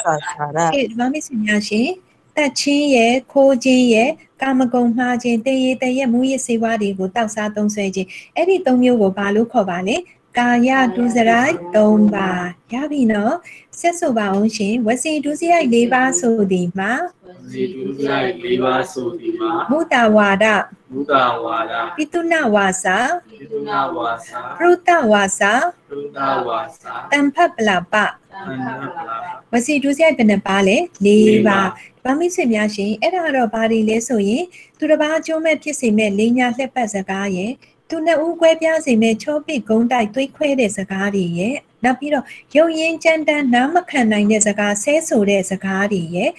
မိမိသူတစ်ပါးပစ္စုပန်တန်နေတာဘသူဘသူမှအကျိုးမရှိတဲ့စကားတွေကိုနှုတ်မထစ်ပဲပလစ်ပလစ်နဲ့ပြောတာရဲ့အဲ့ဒါကတော့ဘာလဲဆိုရင်ဝစီဒုစရိုက်၄ပါးရပြီနော်ဒါဆိုရင်ကာယဒုစရိုက်ဘယ်နှပါလဲရှင်၃ပါးဝစီဒုစရိုက်ဘယ်နှပါလဲရှင်၄ပါးအလုံးပေါင်းတော့ဒုအခုဆရာမပြောလိုက်တာဟလာကာယဒုစရိုက်၃ပါးနဲ့ဝစီဒုစရိုက်၄ပါးပေါင်းတော့ဒုစရိုက်ဘယ်နှပါလဲ9ပါးโอเคဒုစရိုက်9ပါးကိုသိသွားပြီเนาะနံပါတ်1ကိုပြန်ဖတ်ပါဝီတိတ်ကမကိလေသာကာယကံဝစီကံတို့၌လှုပ်ရှားထကြွလာသောကိလေသာဟောဆရာမဆော့ဆော့ကပြောတယ်ကာယဒုစရိုက်တွေဆော့ဆော့ကပြောတယ်ဝစီဒုစရိုက်တွေ အဲ့ဓာတွေဒီဆီယမတို့ရဲ့တန်တန်မှာလှုပ်ရှားထကြွတောင်းချမ်းပြီးဖြစ်ပေါ်လာတဲ့အော်ဒုစရိုက်တွေမကောင်းမှုတွေကိုဘာကိလာဘာကိလေသာလို့ခေါ်ပါလဲဝီတေကမကိလေသာရပြီနော်နံပါတ်2 ဆိုပါအားလုံးပဲပရိယုဌာနာကိလေသာမနောကံ၌လှုပ်ရှားထကြွလာသောကိလေသာဟုတ်ကဲ့မနောကံမှာလှုပ်ရှားထကြွတဲ့ကိလေသာတွေကိုဆရာမတိုင်ပြီးတော့မယ်လိုက်ဆိုပါရှင်မနောဒုစရိုက်၃ပါးရှိပါသည်နောဒုစရိုက်၃ပါးရှိပါသည်အဘိဇာမိစ္ဆာပြာပါဒာရပါဒရပါမိစ္ဆာဒိဋ္ဌိမိစ္ဆာတေမိစ္ဆာဟုတ်ကဲ့ဒီမိတ်ဆွေများရှင်မိမိမပိုင်တဲ့သူတစ်ပါးရဲ့ဥစ္စာကို ကိုပိုင်ကုံဆိုင်လှုပ်ချင်တာအဲ့တော့မှမတရားလှက်ပတ်ပြီးယူဖို့ကြံစီနေတာဘာဖြစ်စင်များတကယ်မယူရသေးဘူးနော်လက်နဲ့လည်းသွားမယူရသေးဘူးနှုတ်ကလည်းယူမယ်တိုက်မယ်ခိုက်မယ်ခိုးမယ်ဖွဲ့မယ်အဲ့ဒီလိုမျိုးတွေမပြောရသေးဘူးဒါပေမဲ့စိတ်သက်သက်နဲ့ကြံစီတာရှင်သူ့ဥစ္စာကနေငါဥစ္စာဖြစ်အောင်ဘယ်လိုလှက်ပတ်ပြီးတော့ယူလိုက်ရင်ကောင်းမလဲလို့ကြံယုံမဲကြံရသေးတယ် မမိတ်ဆွေများဘာဖြစ်နေပြီလဲမနောဒုစရိုက်ဖြစ်နေပြီဟုတ်ပြီနော်အဲ့ဒါကတပါနောက်တစ်ခုကတော့ပြပါရပြပါရဆိုတာသူတစ်ပါးတေးချေအောင်ပြည့်စည်အောင်ဆင်းရဲအောင်ဒုက္ခရအောင်လမ်းပေးလမ်းပေးရအောင်မြောင်းနေကြအောင်ငါဒီကောင်ကိုဘယ်လိုလုပ်ရမလဲဒီကောင်မြန်မြန်သေးပါစေတော့အခုခုထိမသေးနိုင်သေးဘူးဒီကောင်ဒုက္ခဒုက္ခတွေမျိုးစုံရောက်ပါစေတော့အခုခုထိမရောက်နိုင်သေးဘူးဒီကောင်မြန်မြန်ရောက်အောင်မြန်မြန်ဆင်းရအောင်ငါဘယ်လိုလုပ်ရမလဲတွေးတောနေတာဟေးတပတ်ပြည့်စင်များသူကြည့်တော့ငြိမ်ငြိမ်လေး ကိုကလည်းမလုံးနှုတ်ကလည်းမပါဒါပေမဲ့သူ့စိတ်ထဲမှာအဲ့ဒီလိုတွေတွေးတောနေပြီးကြံစီနေပြီးဆိုရင် तू ကဒုစရိုက်သမားပဲရှင့်ဘာဒုစရိုက်လဲဆိုတော့မနောဒုစရိုက်ပေါ့ဟုတ်ပြီနော်အဲ့ဒါကိုပြောတာအဲ့တော့နှစ်နှစ်ခုရှိသွားပြီနောက်တစ်ခုကတော့ဗာလဲဆိုတော့မိစ္ဆာဒိဋ္ဌိအယူအဆမှားယွင်းတာပဲဖြစ်ပါတယ်ဒီမှာမိတ်ဆွေများ အတွင်းရခေါ်ဒီအယူအဆတွေလုံးဝမှားယွင်းနေတာပါနော်အဲ့ဒါကတော့ဗာလဲဆိုရင်မနောတူစရိုက်အဲ့တော့ဟုတ်ပါပြီဓမ္မမိတ်ဆွေများအဲ့တော့စိတ်ထဲမှာဖြစ်နေတဲ့မှားယွင်းနေပေါ့နော်မနောဒုစရိုက်တွေအော်ဆော့ဆော့မိစ္ဆာဒိဋ္ဌိတွေပြပါဒတွေနောက်ပြီးတော့အဘိစာတွေလို့ခေါ်တဲ့အဲ့ဒီ၃ခုဒီမနောကံမှာ လှုပ်ရှားထကြွတဲ့ဒုစရိုက်တွေဖြစ်ပါတယ်ဒါကြောင့်နံပါတ်2ကိုပြန်ဖတ်ပါပရိယုဌာနာကိလေသာမနောကံ၌လှုပ်ရှားထကြွလာသောကိလေသာဟုတ်ပြီနော်အော်အဲ့တော့ကိလေသာဒီစုစုပေါင်း10ပါးပေါ့10ပါးဆိုတာကဆ iam မအခုပြောတဲ့ကာယကံဝစီကံမနောကံနဲ့ပေါင်းလိုက်ရင်ဟဲ့လားဒုစရိုက်က10ပါးသူတူရတူရပေါင်းလိုက်တဲ့အခါကျတော့ကိလေသာအမျိုးအစားတော့2မျိုးဝိတိတ်ကမကိလေသာနဲ့ပရိယုဌာနာကိလေသာ ဒီထိရပြီလားရှင်ရပြီနော်ဆက်ကြည့်မယ်နံပါတ်3ကိုပူဇော်ပါအနုတယကိလေသာတတဝါတို့ဤခန္ဓာအစဉ်တန်တန်၌မဲ့ဖြစ်မပယ်ရသေးသမျှကိဝတ်နေသောကိလေသာဆရာမမေးပါမယ်ဒီမှာမိတ်ဆွေတင်နန်းသားတင်နန်းသူများမှာကိလေသာတွေရှိလားမရှိဘူးလားရှိလားမရှိဘူးလားရှိတာပေါ့အများကြီးရှိတာလားနည်းနည်းလေးလားအများကြီးပဲရှိတယ်ဆရာမမှာလည်းအများကြီးပဲရှိတယ်ရှင်ဒီမှာမိတ်ဆွေများချင်းဒါပေမဲ့ ဆီယာမသည် အခုချိန်မှာကာယကံဝစီကံမြောက်လှုပ်ရှားထကြွပြီးတော့မကောင်းမှုဒုစရိုက်တွေကိုမလုံနေပါဘူး။ဆီယမရဲ့မနောကံမှာလည်းသူတစ်ပါးပစ္စည်းကိုရယူဖို့သူတစ်ပါးတည်ခြင်းပစ္စည်းဆင်းရဲဒုက္ခရဖို့အယူမမိစ္ဆာဒိဋ္ဌိတွေဖြစ်မနေပါဘူးရှင့်။အဲ့ဒီလိုမျိုးဖြစ်မနေတိုင်းဆီယမမှာကိလေသာမရှိဘူးလို့မအောင်မြင်နဲ့ဆီယမရဲ့အစ္ဆတအတွင်းတရံမှာအိုးတန်တရားအစဉ်တွေကကန့်ညိလာတဲ့ကိလေသာတွေဒီကိန်းအောင်ပြီးတော့ရှိနေပါတယ်။ ဆီယာမကဲ့သို့ဓမ္မမိတ်ဆွေတို့ကိုစီကိုစီမှာလဲမဲ့နဲ့မပယ်တတ်သေးဘူးဆိုအားလုံးအားလုံးအများကြီးအများကြီးရှိနေကြပါတယ်အကြောင်းတိုက်ဆိုင်ရင်အဲ့ဒီမှာထကြွတောင်းချမ်းပြီးတော့ပေါ်လာတော့တာပါပဲဟုတ်ကဲ့ဓမ္မမိတ်ဆွေများအဲ့ဒါကိုတော့ဘာလို့ခေါ်လဲအနုတယကိလေသာဟုတ်ပြီနော်အဲဓမ္မမိတ်ဆွေတို့မှလည်းရှိတယ်ဆရာမမှလည်းရှိတယ်အဲ့တော့စုစုပေါင်းကိလေသာဘယ်နှမျိုးလဲ၃မျိုးပါဠိလိုပဲပူဇော်ပြပါ ဝိတိတ်ကမကိလေသာပရိယုဌာနာကိလေသာအနုတယကိလေသာဟုတ်ပြီနော်ကိလေသာ၃မျိုးကိုသိပါပြီ။ဘာမင်းစင်များရှင်အဲ့ဒီကိလေသာတွေနဲ့ပတ်သက်ပြီးတော့မှာပေါ့နော်။ဆီယမနည်းနည်းမှတ်သားပွဲလေးပြောပြမယ်နော်။ဆီယမတို့ရဲ့ဖရာလောင်ဟရိတဇယတိဖျားလောင်းနော်ဓမ္မမိတ်ဆွေများဖျားစုပန်ပြီးပါပြီ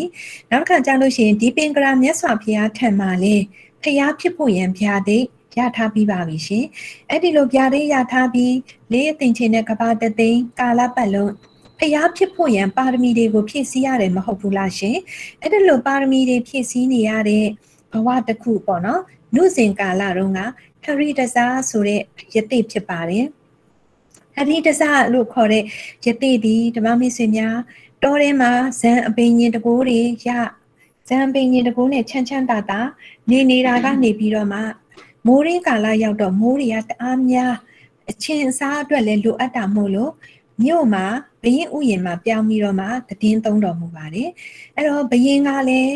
အဲ့ဒီအချိန်မှာဘာတူလဲဆိုတော့နောက်တစ်ချိန်မှာအလုတ်အကျွေးဖြစ်လာမယ်ရှင်အနန္ဒာအလောင်းလျာပဲဖြစ်ပါတယ်ရှင်အနန္ဒာအလောင်းလျာဖြစ်တဲ့ဘရင်ကြီးသည်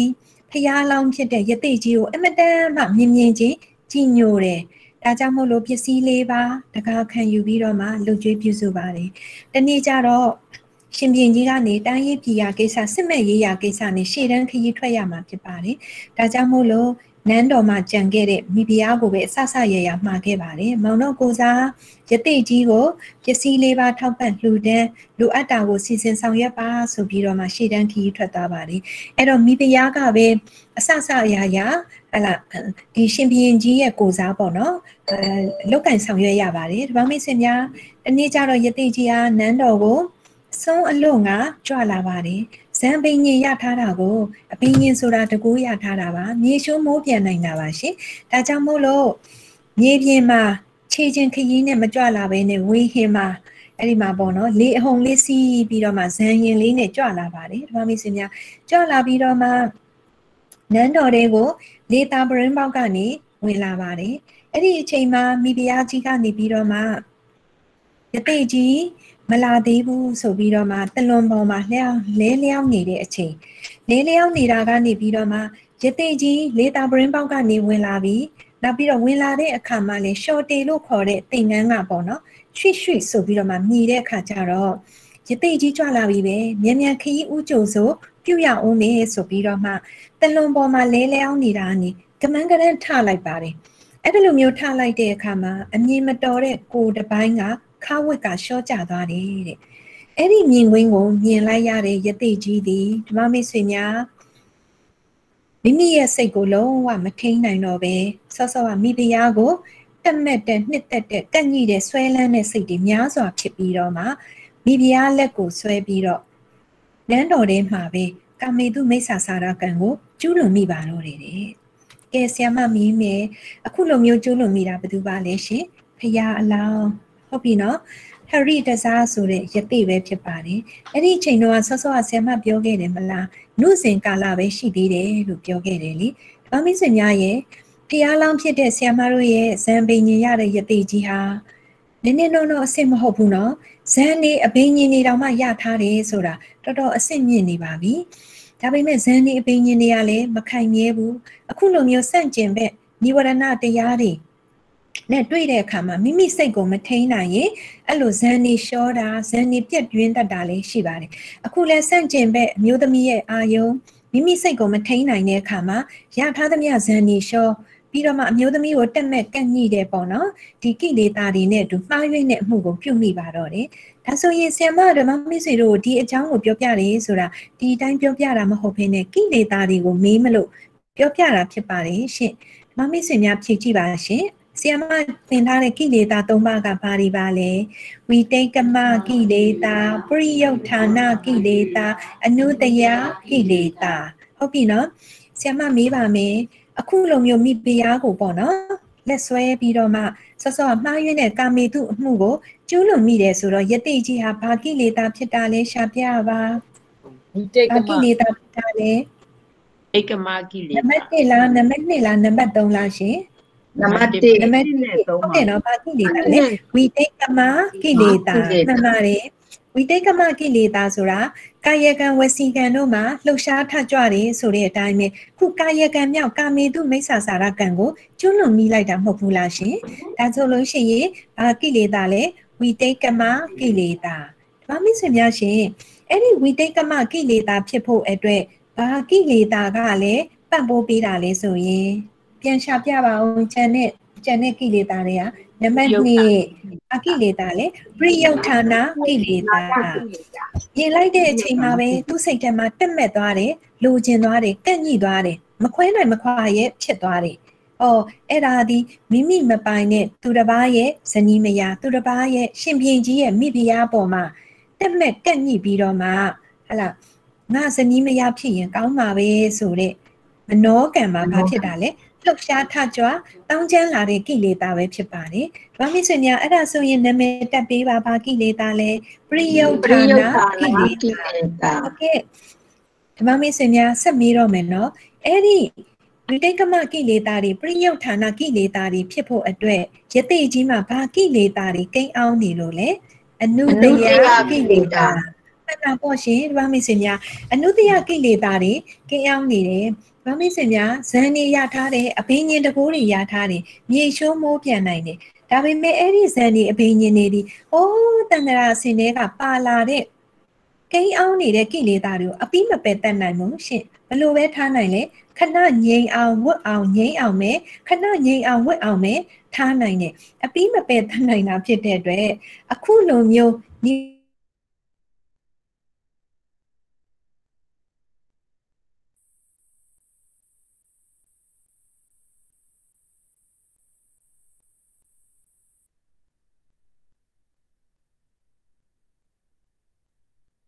သွားတာဖြစ်ပါတယ်။ဒါကြောင့်မို့လို့ဟဲ့လားဒီဖျားအလောင်းသူတော်ကောင်းကြီးတောင်မှဇံပင်ကြီးရထားတဲ့ပုံကိုယ်တွေကိုတောင်မှအဲ့ဒီလောက်ထိဖြည့်ဆည်းနိုင်တဲ့အင်မတန်ဆိုးတဲ့ကိလေသာတွေဖြစ်ပါတယ်လို့ဆ iam မကပြောပြလိုရင်းဖြစ်ပါတယ်နော်။တန်ကြားလားဆ iam မတန်ကြားလေးလားတန်တူးလားကြားရတယ်စောစောလေးကတစ်ချက်လေးပြတ်သွားပါတယ်ဟုတ်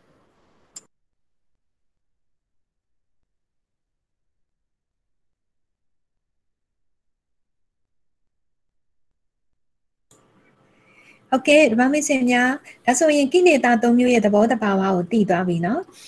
အဲ့ဒါဒါကဆီယမတို့ဖျားလောင်းနုစဉ်ကာလဖြစ်ပါတယ်ဒီမှာမိတ်ဆွေများဟောဆီယမတို့ဖျားလောင်းရင့်တဲ့ရင့်ကျက်တဲ့အချိန်ကိုရောက်လာပါပြီဘယ်အချိန်လဲဆိုတော့တိတ်တတ်မင်းသားဘဝပေါ့တိတ်တတ်မင်းသားဘဝဆိုတာဖျားဖြစ်မဲ့ဘဝပဲဖြစ်ပါတယ်ဒါပေမဲ့မက်တီဖို့တွေမရသေးဘူးရှင်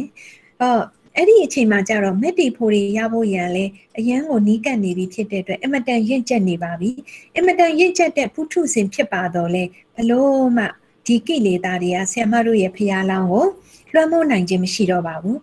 ဆ iam မတို့ဖျားလောင်းဒီဒီဒုက္ခရစရိအဲဆ iam မတို့ဖျားလောင်းဒီပေါ့နော်อืมတက်တော်29နှစ်မှာသူအိုသူနာသူတေယဟန်ဆိုတဲ့နမိတ်ကြီးလေးပါးကိုတွေ့မြင်ပြီးတော့မှတောထွက်ပြီးတော့ယဟန်ပြုပါတယ် အဲ့ဒါလို့တောထွက်တော့မယ်ယဟန်ပြုတော့မယ်ပြီးလို့ရှိရင်ဖျားဖြစ်ကြောင်းအကျင့်နီလန်းကောင်းနေကျင့်လို့ဖျားဖြစ်သွားပြီဆိုရင်မနက်ကြီးကလုံးဝမကြိုက်ဘူးရှင်။ဘာကြောင့်လဲဆိုတော့မနက်ကြီးဒီဒီလောကမှာသူ့လိုမျိုးကာမဂုဏ်အာယုန်နေနဲ့နှစ်မောပြီးကာမဂုဏ်အာယုန်တော်ထဲမှာပဲပျော်ပါနေတဲ့လူတွေနဲ့တွေကိုပဲလိုချင်တယ်။ကာမဂုဏ်အာယုန်တော်ထဲကနေထွက်သွားပြီးတော့အရိယာမက်ဖို့တွေရသွားတဲ့ဘဝ သူ့ရဲ့နေပယ်မှာကာမဂုဏ်အာယုန်တော်ထဲမှာရှိတဲ့ကာမဘုံသားတွေနဲသွားမှယော့သွားမှသူကအယမ်းကြောက်တယ်။ဒါကြောင့်ဖျားဖြစ်မယ်ဆိုရင်တရားဟောမယ်။တရားဟောရင်လူတွေကာမဂုဏ်အာယုန်တွေကိုစွန့်တော့မယ်။ကာမဂုဏ်အာယုန်တော်တွေကနေစွန့်ခွာပြီးတော့မှကာမဂုဏ်အာယုန်ပြိတ္တကအယမ်းနေသွားတော့မယ်။ငါပြိတ္တတွေနေသွားလို့မဖြစ်ဘူးဆိုပြီးတော့ဖျားမဖြစ်စေလို့လို့ အမြဲတမ်းလာပြီးတော့မှဟန်တားပါတယ်နှောက်ယှက်ပါတယ်ပြောဆိုပါတယ်။ဘာမိတ်ဆွေများတောထွက်တော့မယ်လေဆိုတော့မန်နေကြီးအရင်ဆုံးထွက်လာပြီးတော့လေတောမထွက်ပါနဲ့။နောက်တစ်ပတ်လောက်နေရင်စက်ကြရင်ပြန်ကြီးရောက်လာပြီးတော့စက်ကြဝရင်းမင်းအဖြစ်နဲ့စည်းစိမ်လေးခံစားပြီးတော့မှတိုင်းပြည်ကိုအုပ်ချုပ်နင်းလို့ပါဆိုပြီးဟန်တားပေမဲ့ဆ iam မတို့ဖះလောင်းကသူပြောတာကိုမနာခံမင်းနဲ့တောထွက်တာပေါ့နော်တောလဲထွက်လာတော့သူကဘလို့ကျင်းလဲဆိုတော့ကောင်းပြီငါကတောမထွက်နဲ့ တရားမကျင့်နဲ့လို့ပြောတာကိုသင်ကတောလဲထွက်တယ်တရားလဲကျင့်တယ်အခုချိန်ကနေစပြီးတင်းနောက်ကနေတကောက်ကောက်ငါလိုက်ပြီးတော့မှကြည့်မယ်သင်ရဲ့ကိုယ်အမူအရာနှုတ်အမူအရာစိတ်အမူအရာမှာအကုသိုလ်ကိလေသာတစ်ခုခုတွေ့ကြည့်ငါဟာဟဲ့ဒီတင်းပုံကြီးနဲ့တင့်ရဲ့ခေါင်းကိုအစိတ်စိတ်မှားမှာကွဲအောင်ထုပြီးတော့မှတင့်နာကနေဖယ်ခွာသွားမယ်ဆိုအဲ့ဒါလိုကျင်းသွားတာတဲ့ကျင်းသွားပြီးတော့ဆီယမတို့ဖျားလောင်းရဲ့နောက်ကို6နှစ်တိတိ ဆီယမတို့ဖျားလောင်းတရားကျင့်တဲ့ဒုက္ခစရိယာကျင့်တဲ့6နှစ်တိတိအနောက်ကနေတကောက်ကောက်လိုက်တော့တာတဲ့ဓမ္မမိတ်ဆွေများလိုက်ကြည့်တာပေါ့နော်ကာယကံမှာဘာအပြစ်ရှိမလဲဝစီကံမှာဘာအပြစ်ရှိမလဲမနောကံမှာဘာအပြစ်ရှိမလဲဓမ္မမိတ်ဆွေများရဲ့6နှစ်လုံးလုံးဘာအပြစ်မှရှာလို့မတွေ့ဘူးတဲ့အပြစ်ရှာလို့မတွေ့လို့အရိယာဖြစ်သွားလို့မဟုတ်ဘူးနော်တမက်တဘောမှမရသေးတဲ့ပုထုဇဉ်ပဲဖြစ်ပါသေးတယ်ဒါပေမဲ့စိတ်ထဲမှာတော့မှကိလေသာမြူမှုံလေးကိုမတွေ့ရလောက်အောင် ဆ iam တို့ဖះလောင်းကကင်းစင်သွားပါပြီဘာကြောင့်လဲဆိုတော့ရင့်ကျက်တဲ့အချိန်ခါကိုရောက်လာပြီမို့လို့ပါပါရမီတွေကိုဖြည့်လာတာလည်းလေးသိမ့်ချင်းတဲ့ကပါတသိမ့်ရှိသွားပြီဒီဘဝမှာလည်းဖះဖြစ်တော့မယ်ဖះတော့မဖြစ်သေးဘူးပုထုဇဉ်တက်တက်ပဲဖြစ်ပေမဲ့အပြစ်ကိုဘလို့မှမနှက်ကြီးကလိုက်ရှာလို့မရဘူးစီလို့အပေါက်ရှာပြီးလိုက်ရှာပြီးမမရဘူးအဲ့ဒါတော့မှသူမကြည့်နဲ့သေးဘူးဖျားလည်းဖြစ်သွားရော ဖျားဖြစ်ပြီးတစ်နှစ်တိတိအနောက်ကနေတကောက်ကောက်လိုက်ပြီးအပြစ်ရှာတာဘာအပြင်းမှရှာလို့မမတွေ့ပါဘူးပုထုဇဉ်ဘဝမှာတောင်မှအပြစ်ရှာလို့မတွေ့တာဖျားဖြစ်မှတော့ဘလို့လို့အပြစ်ကိုရှာလို့တွေ့နိုင်ပါတော့မလဲရှင်အဲ့ဒါဒီရင့်ကျက်သွားတဲ့ဘဝဖြစ်ပါတယ်ဆ iam မပြောချင်တာကဆ iam မတို့ဖျားလောင်းနုစဉ်ကာလမှာကိလေသာတွေဒီအနုတယကိလေသာနေတဆင့်ပရိယုဌာနဝိတိတ်ကမအစစ်စစ်ကူးပြောင်းပြီးဒီလိုတွေမှားခဲ့ပြီးမြင့်ရင့်ကျက်တဲ့အချိန်မှာတော့ မနက်ကတော့မှမြုံမုံအောင်ရှာလို့မရအောင်အပြစ်ကင်းစင်သွားတဲ့အထိကြီးညိုပွဲကောင်းလှပါတယ်ဆိုတာကိုဆီယမကပြောပြလို့ရင်းဖြစ်တယ်နော်ဒါဆိုရင်ကိလေသာ၃ပါးကိုဆီယမနဲ့တူတူတစ်ခေါက်ပြန်ဖတ်မယ်ဝိတေကမကိလေသာ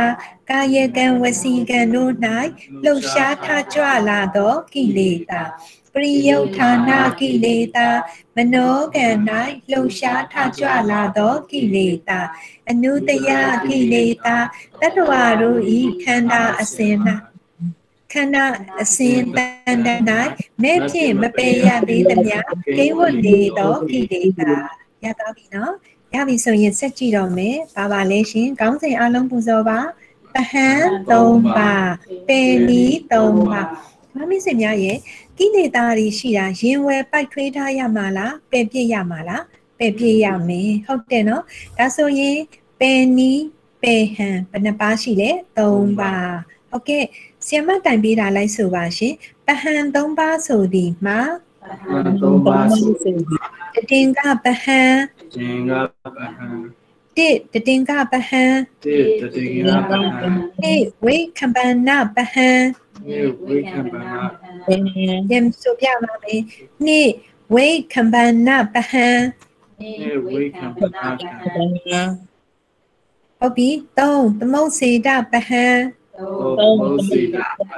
ဟုတ်ပြီပယ်နီးဘယ်နှနည်းလဲသုံးနည်းဟုတ်ပြီပယ်နီးသုံးနည်းကဲဆိုကြည့်ရအောင်နောက်တစ်ခေါက်တိုင်ပေးအောင်မယ်လိုက်ဆိုပါရှင်ပဟန်သုံးပါးဆိုသည်မှာသုံးပါးစု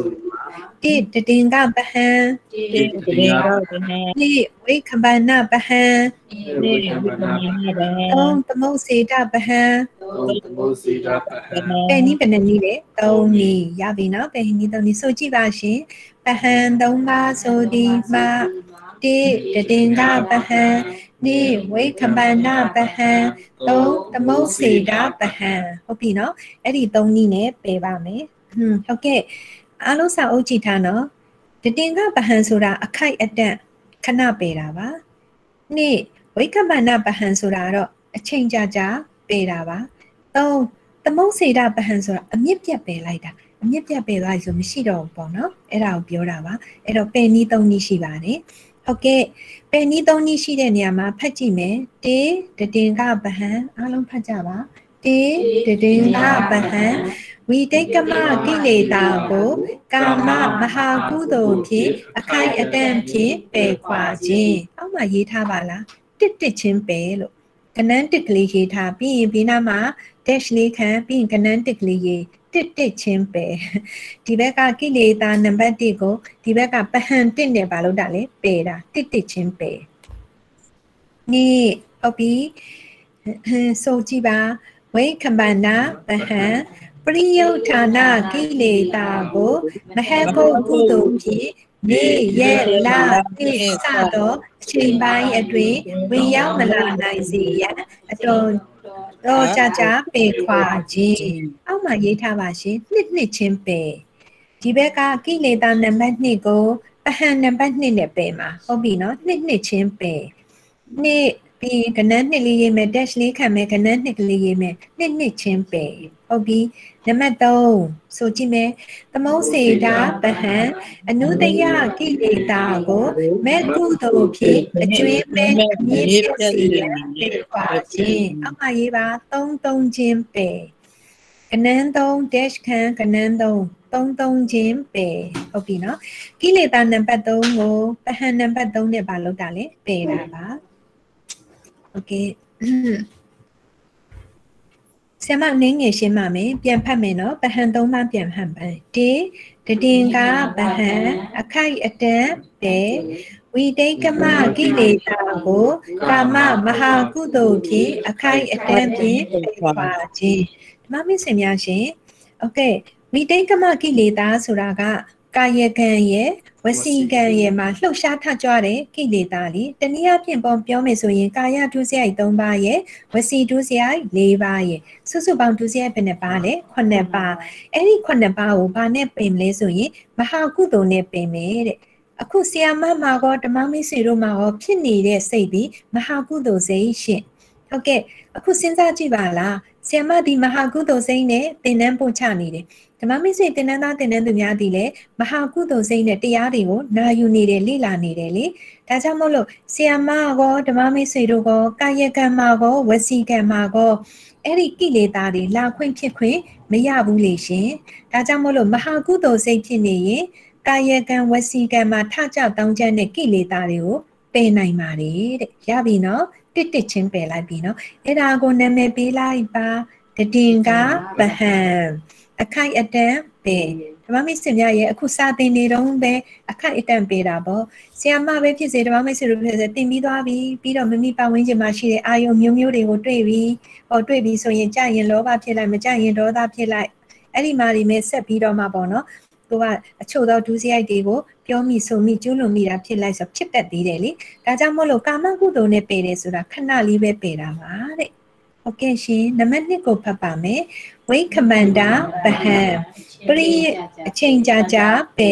ပရိယုဌာနကိလေသာကိုဇံမဟတ်ကုကုသိုလ်ဖြင့်နေရက်လာနှင့်စသောအချိန်ပိုင်းအတွင်းရိရောက်လာနိုင်စေအတော်ကြာကြာပဲပါခြင်းပရိယုဌာနကိလေသာကိုဆိုပြီးတော့လေဘေးနားမှာနေရာလွတ်ကလေးရှိတယ်လေ ဇံလို့ရေးပေးပါလားဆ iam မတို့ရေးထားလိုက်ပြီဇံဟုတ်ပြီနော်ပရိယုဌာဏကိလေသာကိုဇံမဟက်ကုတ်ကုသိုလ်မဟက်ကုတ်ကုသိုလ်ဆိုတာဇံကုသိုလ်ပြောတာပါဇံကုသိုလ်ဖြင့်နေရလာနှစ်စသောအချိန်ပိုင်းတွင်ဝင်ရောက်မလာနိုင်စေရန်အတော်ကြာကြာပေခွာခြင်းတဲ့ဟုတ်ကဲ့ဒီပေါင်းမိတ်ဆွေများရှင်ဇံနေရထားပြီဆိုရင်ဇံရထားတဲ့အခက်အတန့်ဇံမလျှောတဲ့၍အဲ့ဒီကိလေသာတွေမိမိတန်တန်မှာမဖြစ်တော့ဘူးပေါ့နော်မိမိစိတ်ထဲကကိုပဲသူတစ်ပါးရဲ့ပစ္စည်းကိုလိုချင်တာ သူတစ်ပါးတည်ကြည်ပစ္စည်းဖို့ဆင်းရဲဒုက္ခရောက်ဖို့ကြံစည်တာအယူမမိစ္ဆာဒိဋ္ဌိအဲ့ဒါတွေဇံရနေတဲ့အခိုက်အတန့်မှာမဖြစ်တော့ဘူးဒါပေမဲ့ဇံဆိုတာမခိုင်မြဲဘူးဆော့ဆော့ရတဲ့ကိုပဲကြည့်ပါလားဇံနေရထားပြီးဟောဆန့်ကျင်ဘက်အာယုံနေနဲ့မတွေ့သေးရတော့ခိုင်မြဲနေပြီးတော့ဆော့ဆော့ဟာဟလာမိဖုရားအမျိုးသမီးဆန့်ကျင်ဘက်အာယုံတက်မက်ဆရာအာယုံလဲတွေ့ရောမခိုင်မြဲတဲ့ဇံတွေအကုန်လုံးရှော့သွားတာရှင်အရင်ဆုံးဇံတွေရှော့သွားတာရထားတဲ့ဇံတွေကုန်ရှော့ ချောပြီးတော့မှအဲ့ဒီမှာထပ်ဆင့်ပြီးတော့မှဆော့ဆော့ဟာဟလာကာယကံမြောက်ပေါ့ကျူးလွန်မိတာတွေကိုဟိုလုံမိတာပေါ့နော်ဒီမှာမိတ်ဆွေများမခိုင်မြဲတဲ့သဘောပေါ့အဲ့တော့ဇန်နေရနေပြီဇန်မလျှောတဲ့ရွေရတော့ဘာဖြစ်နေလဲအဲ့ဒီမနောဒုစရိုက်တွေလည်းမဖြစ်ကာယဒုစရိုက်ဝစီဒုစရိုက်တွေလည်းမလုတ်ပါဘူးတဲ့ဒါကိုပြောတာပါနံပါတ်3ကိုဖတ်ပါရှင်သမုတ်စေတာပဟံအမြင့်ပြတ်ပဲ အနုတယကိလေသာကိုမဲ့ကုသိုလ်ဖြင့်အကျွင်းမဲ့အမြင့်ပြတ်စေရန်ပယ်ခွာခြင်းဓမ္မမိတ်ဆွေများရဲ့ဆ iam တို့ရဲ့ဖရာလောင်းတိဋ္ဌတမင်းသားဘဝဒုက္ခရစရိယ6နှစ်ကျင့်နဲ့ပြီးတော့ဖျားဖြစ်သွားတယ်လေဖျားဖြစ်ပြီးသွားတာတော့မှမနက်ရဲ့တမီး၃ယောက်ကလာပြီးတော့နှောက်ရှက်သေးတယ်နော်မနက်ကြီးကဖျားဖြစ်သွားတော့အကြီးအကျယ်စိတ်ညစ်နေတာပေါ့ငါဟာတိဋ္ဌတမင်းသားကိုဖျားမဖြစ်အောင်ဘလို့မှမလုပ်နိုင်ဘူးအခုတော့ဖျားဖြစ်သွားပြီ ငါရဲ့ဘက်တော်သားကာမဂုဏ်အာယုန်တွေကိုတက်မဲ့တဲ့လူတွေနတ်တွေအခုသူ့ရဲ့ဘက်တော်သားတွေဖြစ်ကုန်တော့မယ်ငါရဲ့ဘက်တော်သားတွေရော့တော့မယ်ကာမဂုဏ်အာယုန်တော်ထဲမှာနစ်မျောခြင်းပျော်ပါခြင်းဒါတွေနဲ့ဟလာအာဒီဒီကာမဂုဏ်အာယုံတော်တွေနဲ့ပျော်မွေ့ခြင်းတွေမရှိတော့ပဲဟိုဘက်တွေကိုကူးကုန်တော့မယ်ဆိုအကြီးအကျယ်စိတ်ညစ်ပြီးမှိုင်တွင်နေတော့မနက်ရဲ့သမီး၃ယောက်ကနေသူတို့ရဲ့ဖခင်ကိုပြောတယ်ဖခင်ရဲ့စိတ်မညစ်ပါနဲ့သမီးတို့၃ယောက်က ဒီတိတ်တတမင်းသားကိုသမီးတို့ဘက်ပါအောင်ဖျားရောက်မှမယ်သွေးဆောင်မှမယ်ဆိုပြီးတော့ဆရာမတို့ရဲ့မြတ်စွာဘုရားရှင်ကိုလေမနက်ရဲ့သမီး၃ဦးဒီအစင်း၃တွေအရွယ်၃မျိုးနဲ့လာပြီးတော့ဖျားရောက်သွေးဆောင်တာရှင်ဟုတ်ကဲ့ယောက်ျားတွေဟာအမျိုးသမီးတွေကိုနှစ်သက်ပုံနှစ်သက်နီးမတူကြဘူးတချို့ကငယ်တဲ့အရွယ်တချို့ကအရွယ်လက်တချို့ကအရွယ်ကြီးကြီးလေးအဲ့လိုမျိုးမှတက်မဲ့ကြတာဆိုပြီးတော့မှအရွယ်ကလည်း၃မျိုးဖန်ဆင်းလိုက်တယ် ရုပ်ရည်အစင်းတွေကလည်းတယောက်တစ်မျိုးစီအလှချင်းမတူရအောင်တစ်မျိုးစီကွဲပြားပြီးတော့မှလှပတဲ့ပုံစံမျိုးပေါ့နော်ဖန်ဆင်းလိုက်တယ်ဖန်ဆင်းပြီးဖျားယောင်းသွေးဆောင်လိုက်တာဓမ္မမိတ်ဆွေများရဲ့နောက်ဆုံးသူတို့တွေပဲရှုံးနေပြီးသူတို့နေတဲ့နတ်ပြည်ကိုပြန်သွားကြရပါတယ်နော်ဆ iam မဆိုလိုချင်တာကတော့ဘာဖြစ်လို့လဲဆိုတော့အိုးတဏှာအစဉ်တွေကပါလာတဲ့ကိလေသာအတဝေါတွေကိုမဲ့နဲ့အပီးပယ်တက်လိုက်တာ အော်ဝါဒနာအထုံအငွေ့ဒလိတောင်မှမကြံတော့ဘူးကိလေသာကြံဖို့နေနေတာတာကိလေသာရဲ့ဝါဒနာအထုံအငွေ့ဒလိတောင်မှမကြံအောင်အကုန်အစင်ပယ်လိုက်နိုင်ပြီမဟုတ်ဘူးလားဓမ္မမိတ်ဆွေများဒါကြောင့်မို့လို့ဘလို့မှဒီလိုဒုစရိုက်တွေကျူးလွန်စရာအကြောင်းမရှိတော့ပါဘူးရှင်ဒီခန္ဓာအစဉ်မှာကိန်းဝတ်နေတဲ့အနုတ္တယကိလေသာကိုပါအမြင့်ပြတ် ပယ်လိုက်တာဖြစ်ပါတယ်ဘယ်အချိန်မှပြန်လဲထကြတောင်းချမ်းနိုင်ခြင်းမရှိတော့ပါဘူးဒါကိုဘလို့ပယ်နည်းလို့ခေါ်လဲသမုတ်စေတာဗဟံအမြင့်ပြတ်ပယ်ဟုတ်ပြီနော်ပယ်နည်းသုံးနည်းရဲ့ပါဠိလိုအရင်ဆိုပြပါတတင်ကဗဟံဝေခမန္နဗဟံသမုတ်စေတာဗဟံ ဟုတ်ကဲ့ပဟန်၃ပါးပယ်နီး၃ပါးကိုပါဠိမြန်မာတွဲပြီးဆိုပြပါတတင်ကပဟန်ဝိတိတ်ကမကိလေသာကို ကာမမဟာကုသိုလ်ဖြင့်အကိုက်အတန်းပယ်ခွာခြင်းနေ့ဝိခမန္တပဟန်ဝိရုဌာနာကိလေသာကိုအာဂကုလိုတို့ကုလိုဖြင့်နေရတာချိန်တိုင်းပဲရောက်တယ်တော့ကြာ ချိန်ကြာကြာတဲ့တာခြင်းမှုစေတာပါကိလေသာကိုနကုကျွမ်းမဲ့အမြင့်ပြတ်စေရန်ပယ်ခွာခြင်းဟုတ်ကဲ့ဒီတိရသွားပြီဒီမှာမင်းစင်များဒါဆိုရင်နောက်တစ်မျက်နှာသွားပါမယ်ရှင်ဆာမျက်နှာ60ကိုရောက်သွားပါပြီဆာမျက်နှာ60ဆာမျက်နှာ60မှာဇရာကွက်ကလေးရှိပါတယ်ဖတ်ကြည့်ပါ သာသနာ3ပါးသိက္ခာ3ပါးနဲ့ကိလေသာ3ပါးပဟံ3ပါးတွဲဆက်ပုံဆာမျက်နှာ89မှာသင်ခဲ့တဲ့ဆီယမရဲ့သင်ခန်းစာတွေနဲ့ပတ်သက်ပြီးဒီဇရာကွက်ကလေးထဲမှာတွဲဆက်ပြထားခြင်းဖြစ်ပါတယ်။ကဲကြည့်မယ်နော်။ဟလာပထမဦးဆုံးသာသနာ3ပါးသိက္ခာ3ပါးရေးပြထားတယ်။နောက်တစ်ခွက်ကကိလေသာ3ပါးနောက်တစ်ခုကပဟံ3ပါး။နံပါတ်1အတန်းလိုက်ဖတ်ပါ။ အဓိတီလာဖြင့်ဝိတိတ်ကမကိလေသာကိုတတင်ကပဟံပယ်ခွာနိုင်သည်။နှစ်အဓိစိတ်တာဖြင့်ပရိယုဌာနကိလေသာကိုဝိခမန္တပဟံပေခွာနိုင်သည်သုံးအဓိပညာဖြင့်အနုတယကိလေသာကိုသမုတ်စေရပဟံပေခွာနိုင်သည်ဟုတ်ကဲ့ဒါဆိုရင်သိသွားပြီသိသွားပြီဆိုရင်ဆရာမတို့ကမ္မထံဆိုတဲ့သင်ခန်းစာလေးစမယ်နော်ကမ္မထံ လိုက်ဆိုပါရှင်ကမ္မထံကမ္မထာနကမ္မကမ္မထာဟုတ်ကဲ့ကမ္မထံကမ္မထာနကမ္မထာကမ္မထာရပြီနော်ကဲဆိုကြည့်မယ်ကမ္မထံဘာဝနာနှစ်ပါးကိုပွားများအားထုတ်မှုဤတရားအာယုဘာဝနာလွန်စွာအကျိုးများသဖြင့်မိမိတို့တန်တန်၌အဖန်ဖန်ဖြစ်စေထိုက်သောတရားဘာဝနာပွားခြင်းထိုထိုတရားများကိုမိမိတန်တန်၌ဖြစ်လာအောင် ပွားများလာသောအာထုံမှုဟုတ်ကဲ့ကမ္မထမ်းနဲ့ပတ်သက်ပြီးတော့အဓိပ္ပာယ်ဖွင့်ဆိုချက်လေးရှိပါတယ်ပထမပိုက်ကိုပြန်ပြောမယ်နော်ဖတ်ကြည့်ပါကမ္မထံဘာဝနာနှစ်ပါးကိုပွားများအားထုတ်မှုဤတရားအာယုမမစ္စမြရဲ့ပွားများစွာဘာဝနာကနှစ်မျိုးရှိတယ်လေဘာဘာဝနာတွေလဲသမထဘာဝနာနဲ့ဝိပဿနာဘာဝနာဒါဖြစ်ရင်ကမ္မထံအားထုတ်တယ်ကမ္မထံအားထုတ်တယ်ကမ္မထံအားထုတ်တယ်နဲ့ပြောကြတယ်ဆိုတာက မ္မထဘာဝနာကိုပဲဖြစ်စေဝိပဿနာဘာဝနာကိုပဲဖြစ်စေပွားများအားထုတ်ဖို့အတွက်ဆရာမတို့စိတ်ထဲမှာတည်ထားတဲ့အာယုံပြုတ်ထားတဲ့အရာကိုဘာလို့ခေါ်လဲဆိုရင်ကမ္မထံလို့ခေါ်တယ်တဲ့ဟုတ်ကဲ့နောက်တစ်ခုဖတ်ပါဘာဝနာလွန်စွာအကျိုးများသဖြင့်မိမိတို့တန်တန်၌အဖန်ဖန်ဖြစ်စေထိုက်သောတရား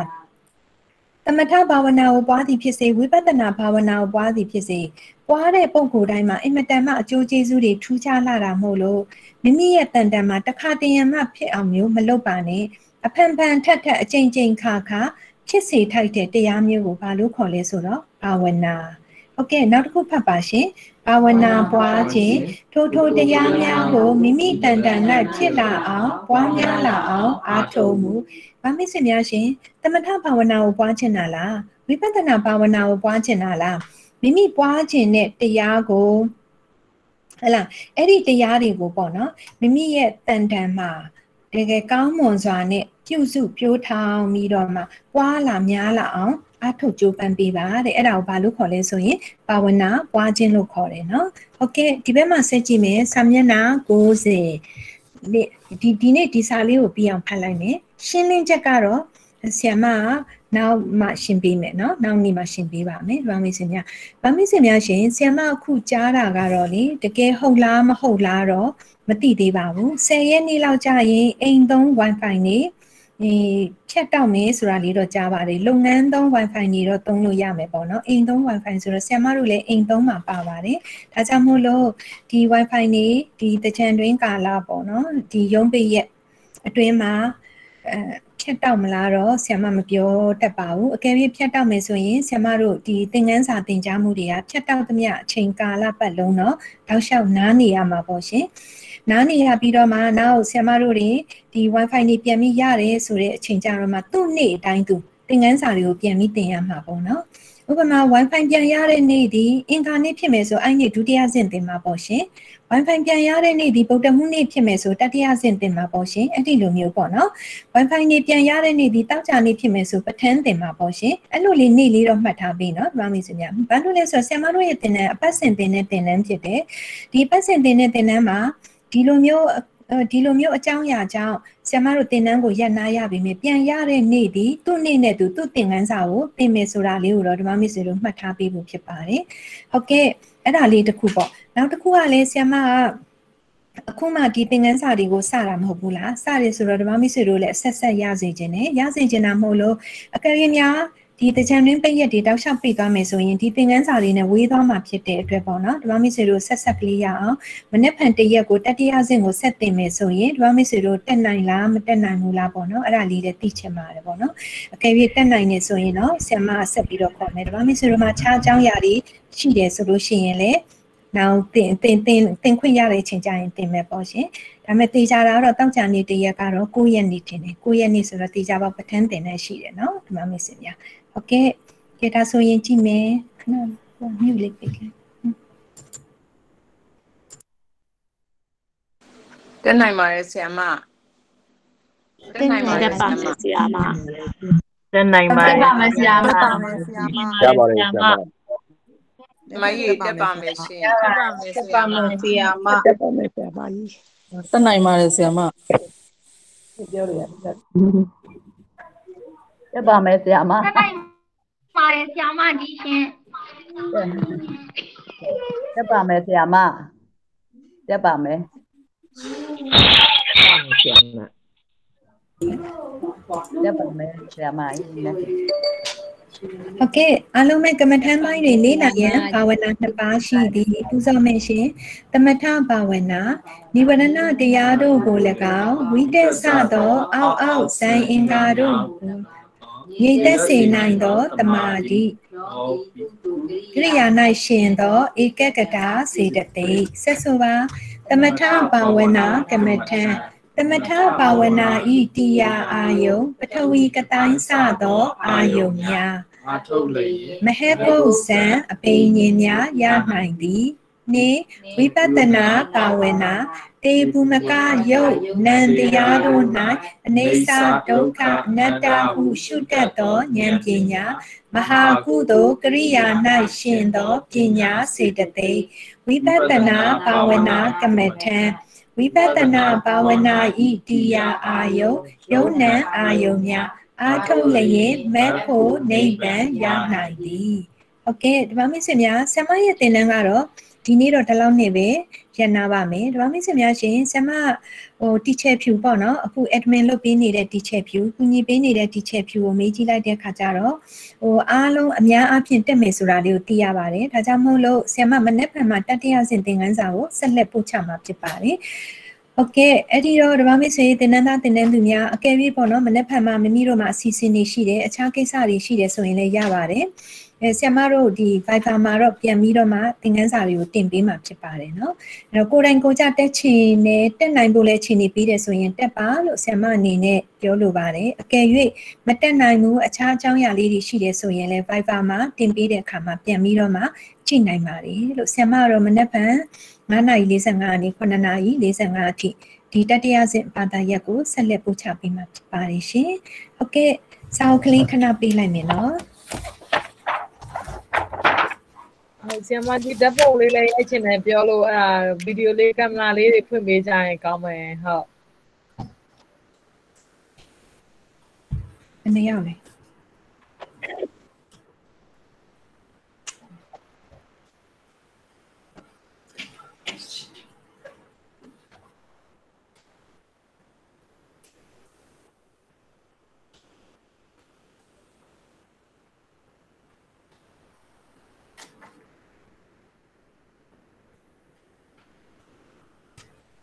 ကင်မရာလေးပြုတ်ပေးကြပါနော်ဒီနေ့တင်နေကြရရှင်ဆရာမတို့ဖျားရှိခိုးမင်းနော်အော်ဖျားရှိခိုးမင်းအမြတ်တမ်းပေးဝင်မှာဖြစ်ပါတယ်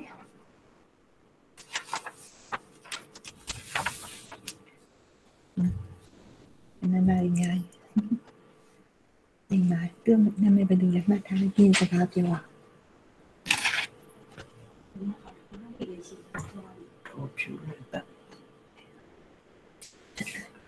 မမေ့စေတင်နန်းသားတင်နန်းသူများရှင်ဆ iam ကနေပြီးတော့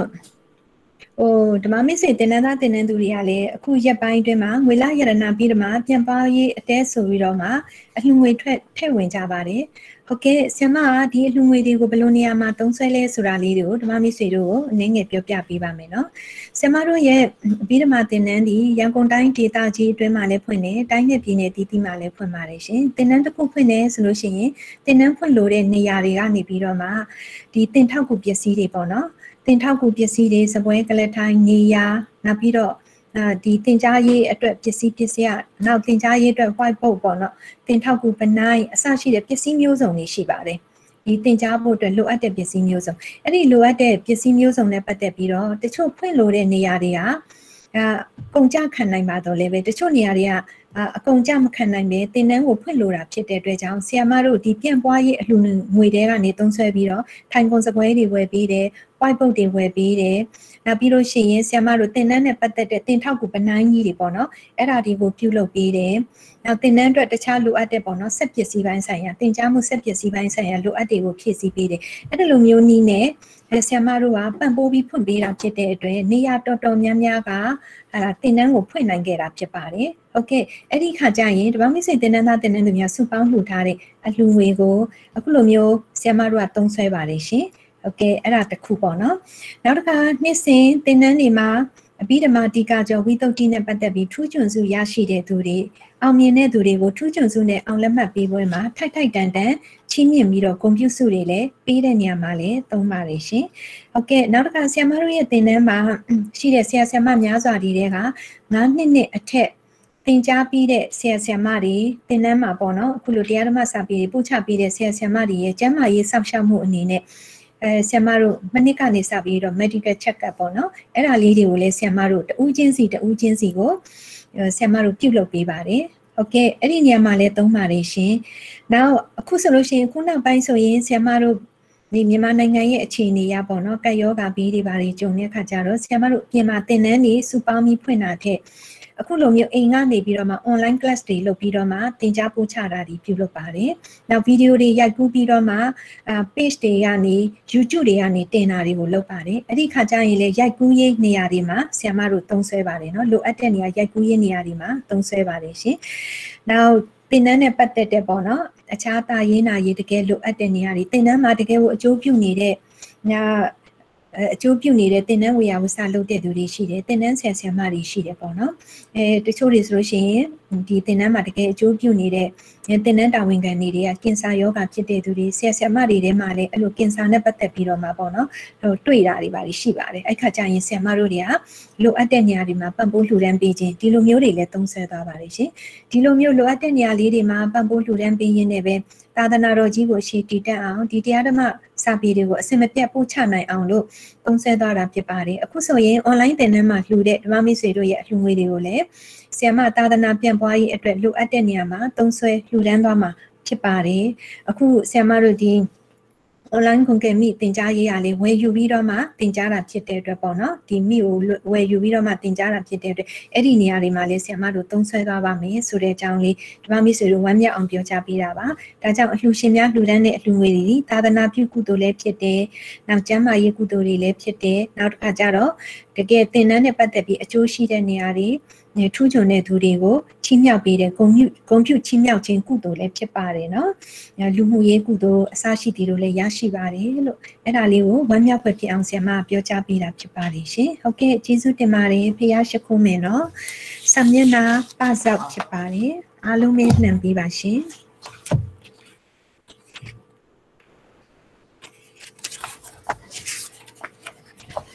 သင်္นานစင်ချိန်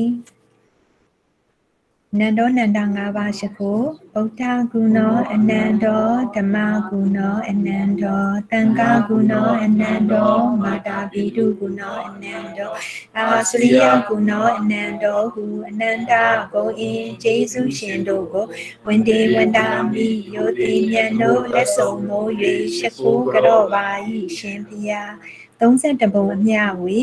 ယနေ့ယခုအပိဓမ္မာဒေသနာတော်ကိုနာယူသင်ကြားရသောကုသိုလ်ကောင်းမှုတို့၏အဖို့ဘာကတို့ကို၎င်းခဏလေးပါရှင်ဒီနေ့လူတန်းနဲ့အလှရှင်များရဲ့အမည်စည်းရင်းလေးကိုကျင်ညာပေးကြရစီ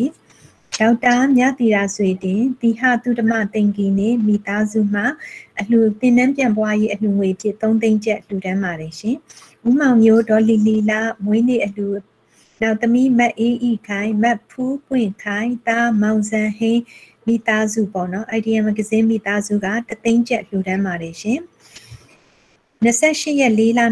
2021ဗုဒ္ဓဟူးနေ့တွင်ကြားရောက်သောမတ်စင်မာဤမွေးနေ့အတွက်ဝေလာယရဏပြီးဓမ္မတင်တန်းများဆက်လက်ဖွင့်နိုင်ရန်ရည်ရွယ်၍တသိန်းကျပ်လှူဒန်းပါတယ်ရှင်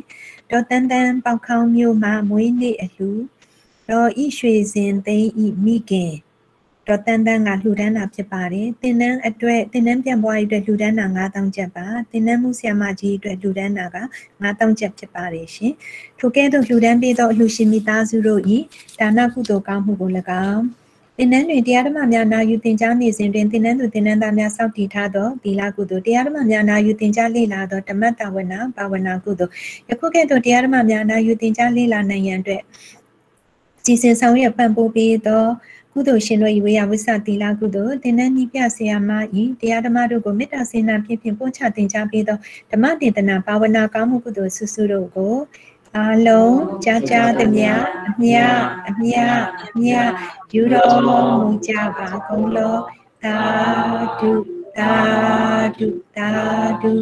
အလုံးကြားကြားသမျှအမြအမြအမြ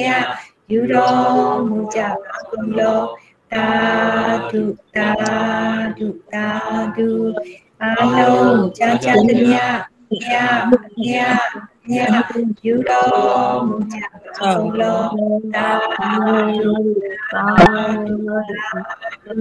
ဒီပူဇော်ရောက်တာတော့ဓမ္မမိတ်ဆွေများအားလုံးကိုစိတ်နှပြချမ်းမှချမ်းသာရေးကောင်းကျိုးပေးမဲ့လူရဆန္ဒများအားလုံးပြပါပြီလေယနေ့နောက်ရသောအဘိဓမ္မာမြတ်တေသနာတော်နှင့်ယနေ့ယခုဘဝတွင်စ조사ပြုလိုအားထုတ်ရသောဒါနသီလဘာဝနာကောင်းမှုကုသိုလ်ဆုစုသည်ဓမ္မမိတ်ဆွေများအားလုံးအတွက်မက်ဖို့နိဗ္ဗာန်ရောက်ကြောင်းပါရမီထောက်ပံ့ကုသိုလ်ဒုများဖြစ်ကြပါစေရှင်။သမ္မာပိနေကလေးကလာပြပြ။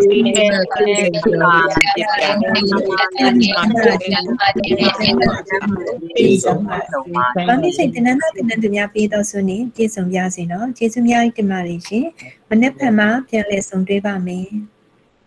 ကျေးဇူးတင်ပါတယ်ရှင်ကျေးဇူးတင်ပါတယ်ဆရာမကြီးဆရာမမင်္ဂကြီးလာပါကျေးဇူးတင်ပါတယ်ဆရာမကြီးကမ္ဘာလေးဖွင့်ပေးပါနော်ပုံလေးအချင်းလို့ပါကမ္ဘာလေးဖွင့်ပေးကြပါနော်ဓာတ်ပုံလေးရိုက်လို့ရအောင်ပါရှင် ဒေါက်ဖြူဝင်းတက်ပါလား တောင်းပန် အတန်ဖွင့်လိုက်ဒေါက်ဖြူဝင်းတက်လားဒေါက်ဖြူလွင်တက်လားဒေါက်ဖြူလွင်တက်လား တက်မှာ ဟာဟုတ်ပြီဟုတ်ပြီโอเค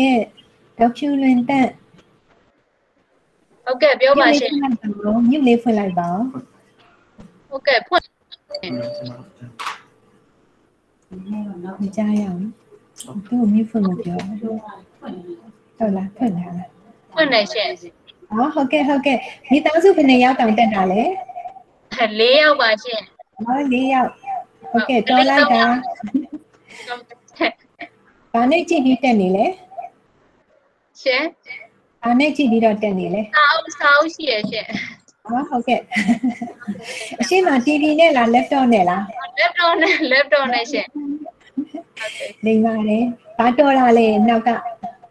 အဲသမီးနှစ်ယောက်နဲ့သားတစ်ယောက်ရှင်။အိုးမိသားစုအကုန်လုံးပဲ။ဝမ်းသာတယ်တာတုတာတုတာတုဟုတ်ကဲ့ပါအတစိတ်ဝင်စားလားအတစိတ်ဝင်စားလားဆင်းရဲသမီးတော့စိတ်ဝင်စားလားဝင်လာပါဝင်စားပါတယ်အေးဟုတ်ပြီဟုတ်ပြီနောက်နေ့တွေလည်းတက်နော်ဟုတ်အေး ဟုတ်ပြီဟုတ်ပြီလိမ့်ပါတယ်တက်တာ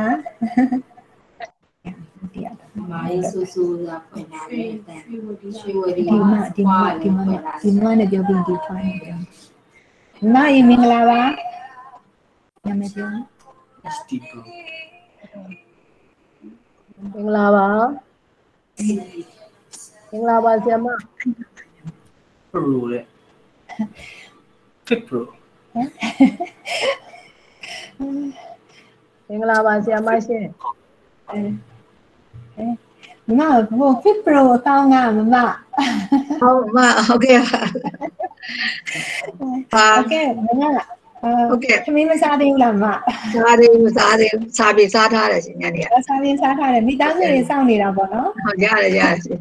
ချိန်ပြောင်းသွားပြီ7နာရီဖြစ်သွားပြီစားအော်ဟုတ်ကဲ့ဟုတ်ကဲ့ဝမ်းသာပါတယ်မဟုတ်ကဲ့တကားမဟုတ်ကဲ့ပါ ဒီတော့စမတန်စမပြန်ကြားနေဟုတ်ကဲ့ဒီကဒီလိုမျိုးရွှေဝရီဘောဆောင်လေးဟုတ်ကနလေးပြောမယ်မမြတ်တီတာကျေးဇူးတင်ပါတယ်မဟုတ်ကဲ့အမတူဘူးအဲ့ဒါဟုတ်ကဲ့ဟုတ်ကဲ့မစားပြီးပြီလားမမစားသေးဟုတ်ကဲ့ပါမဟုတ်ကဲ့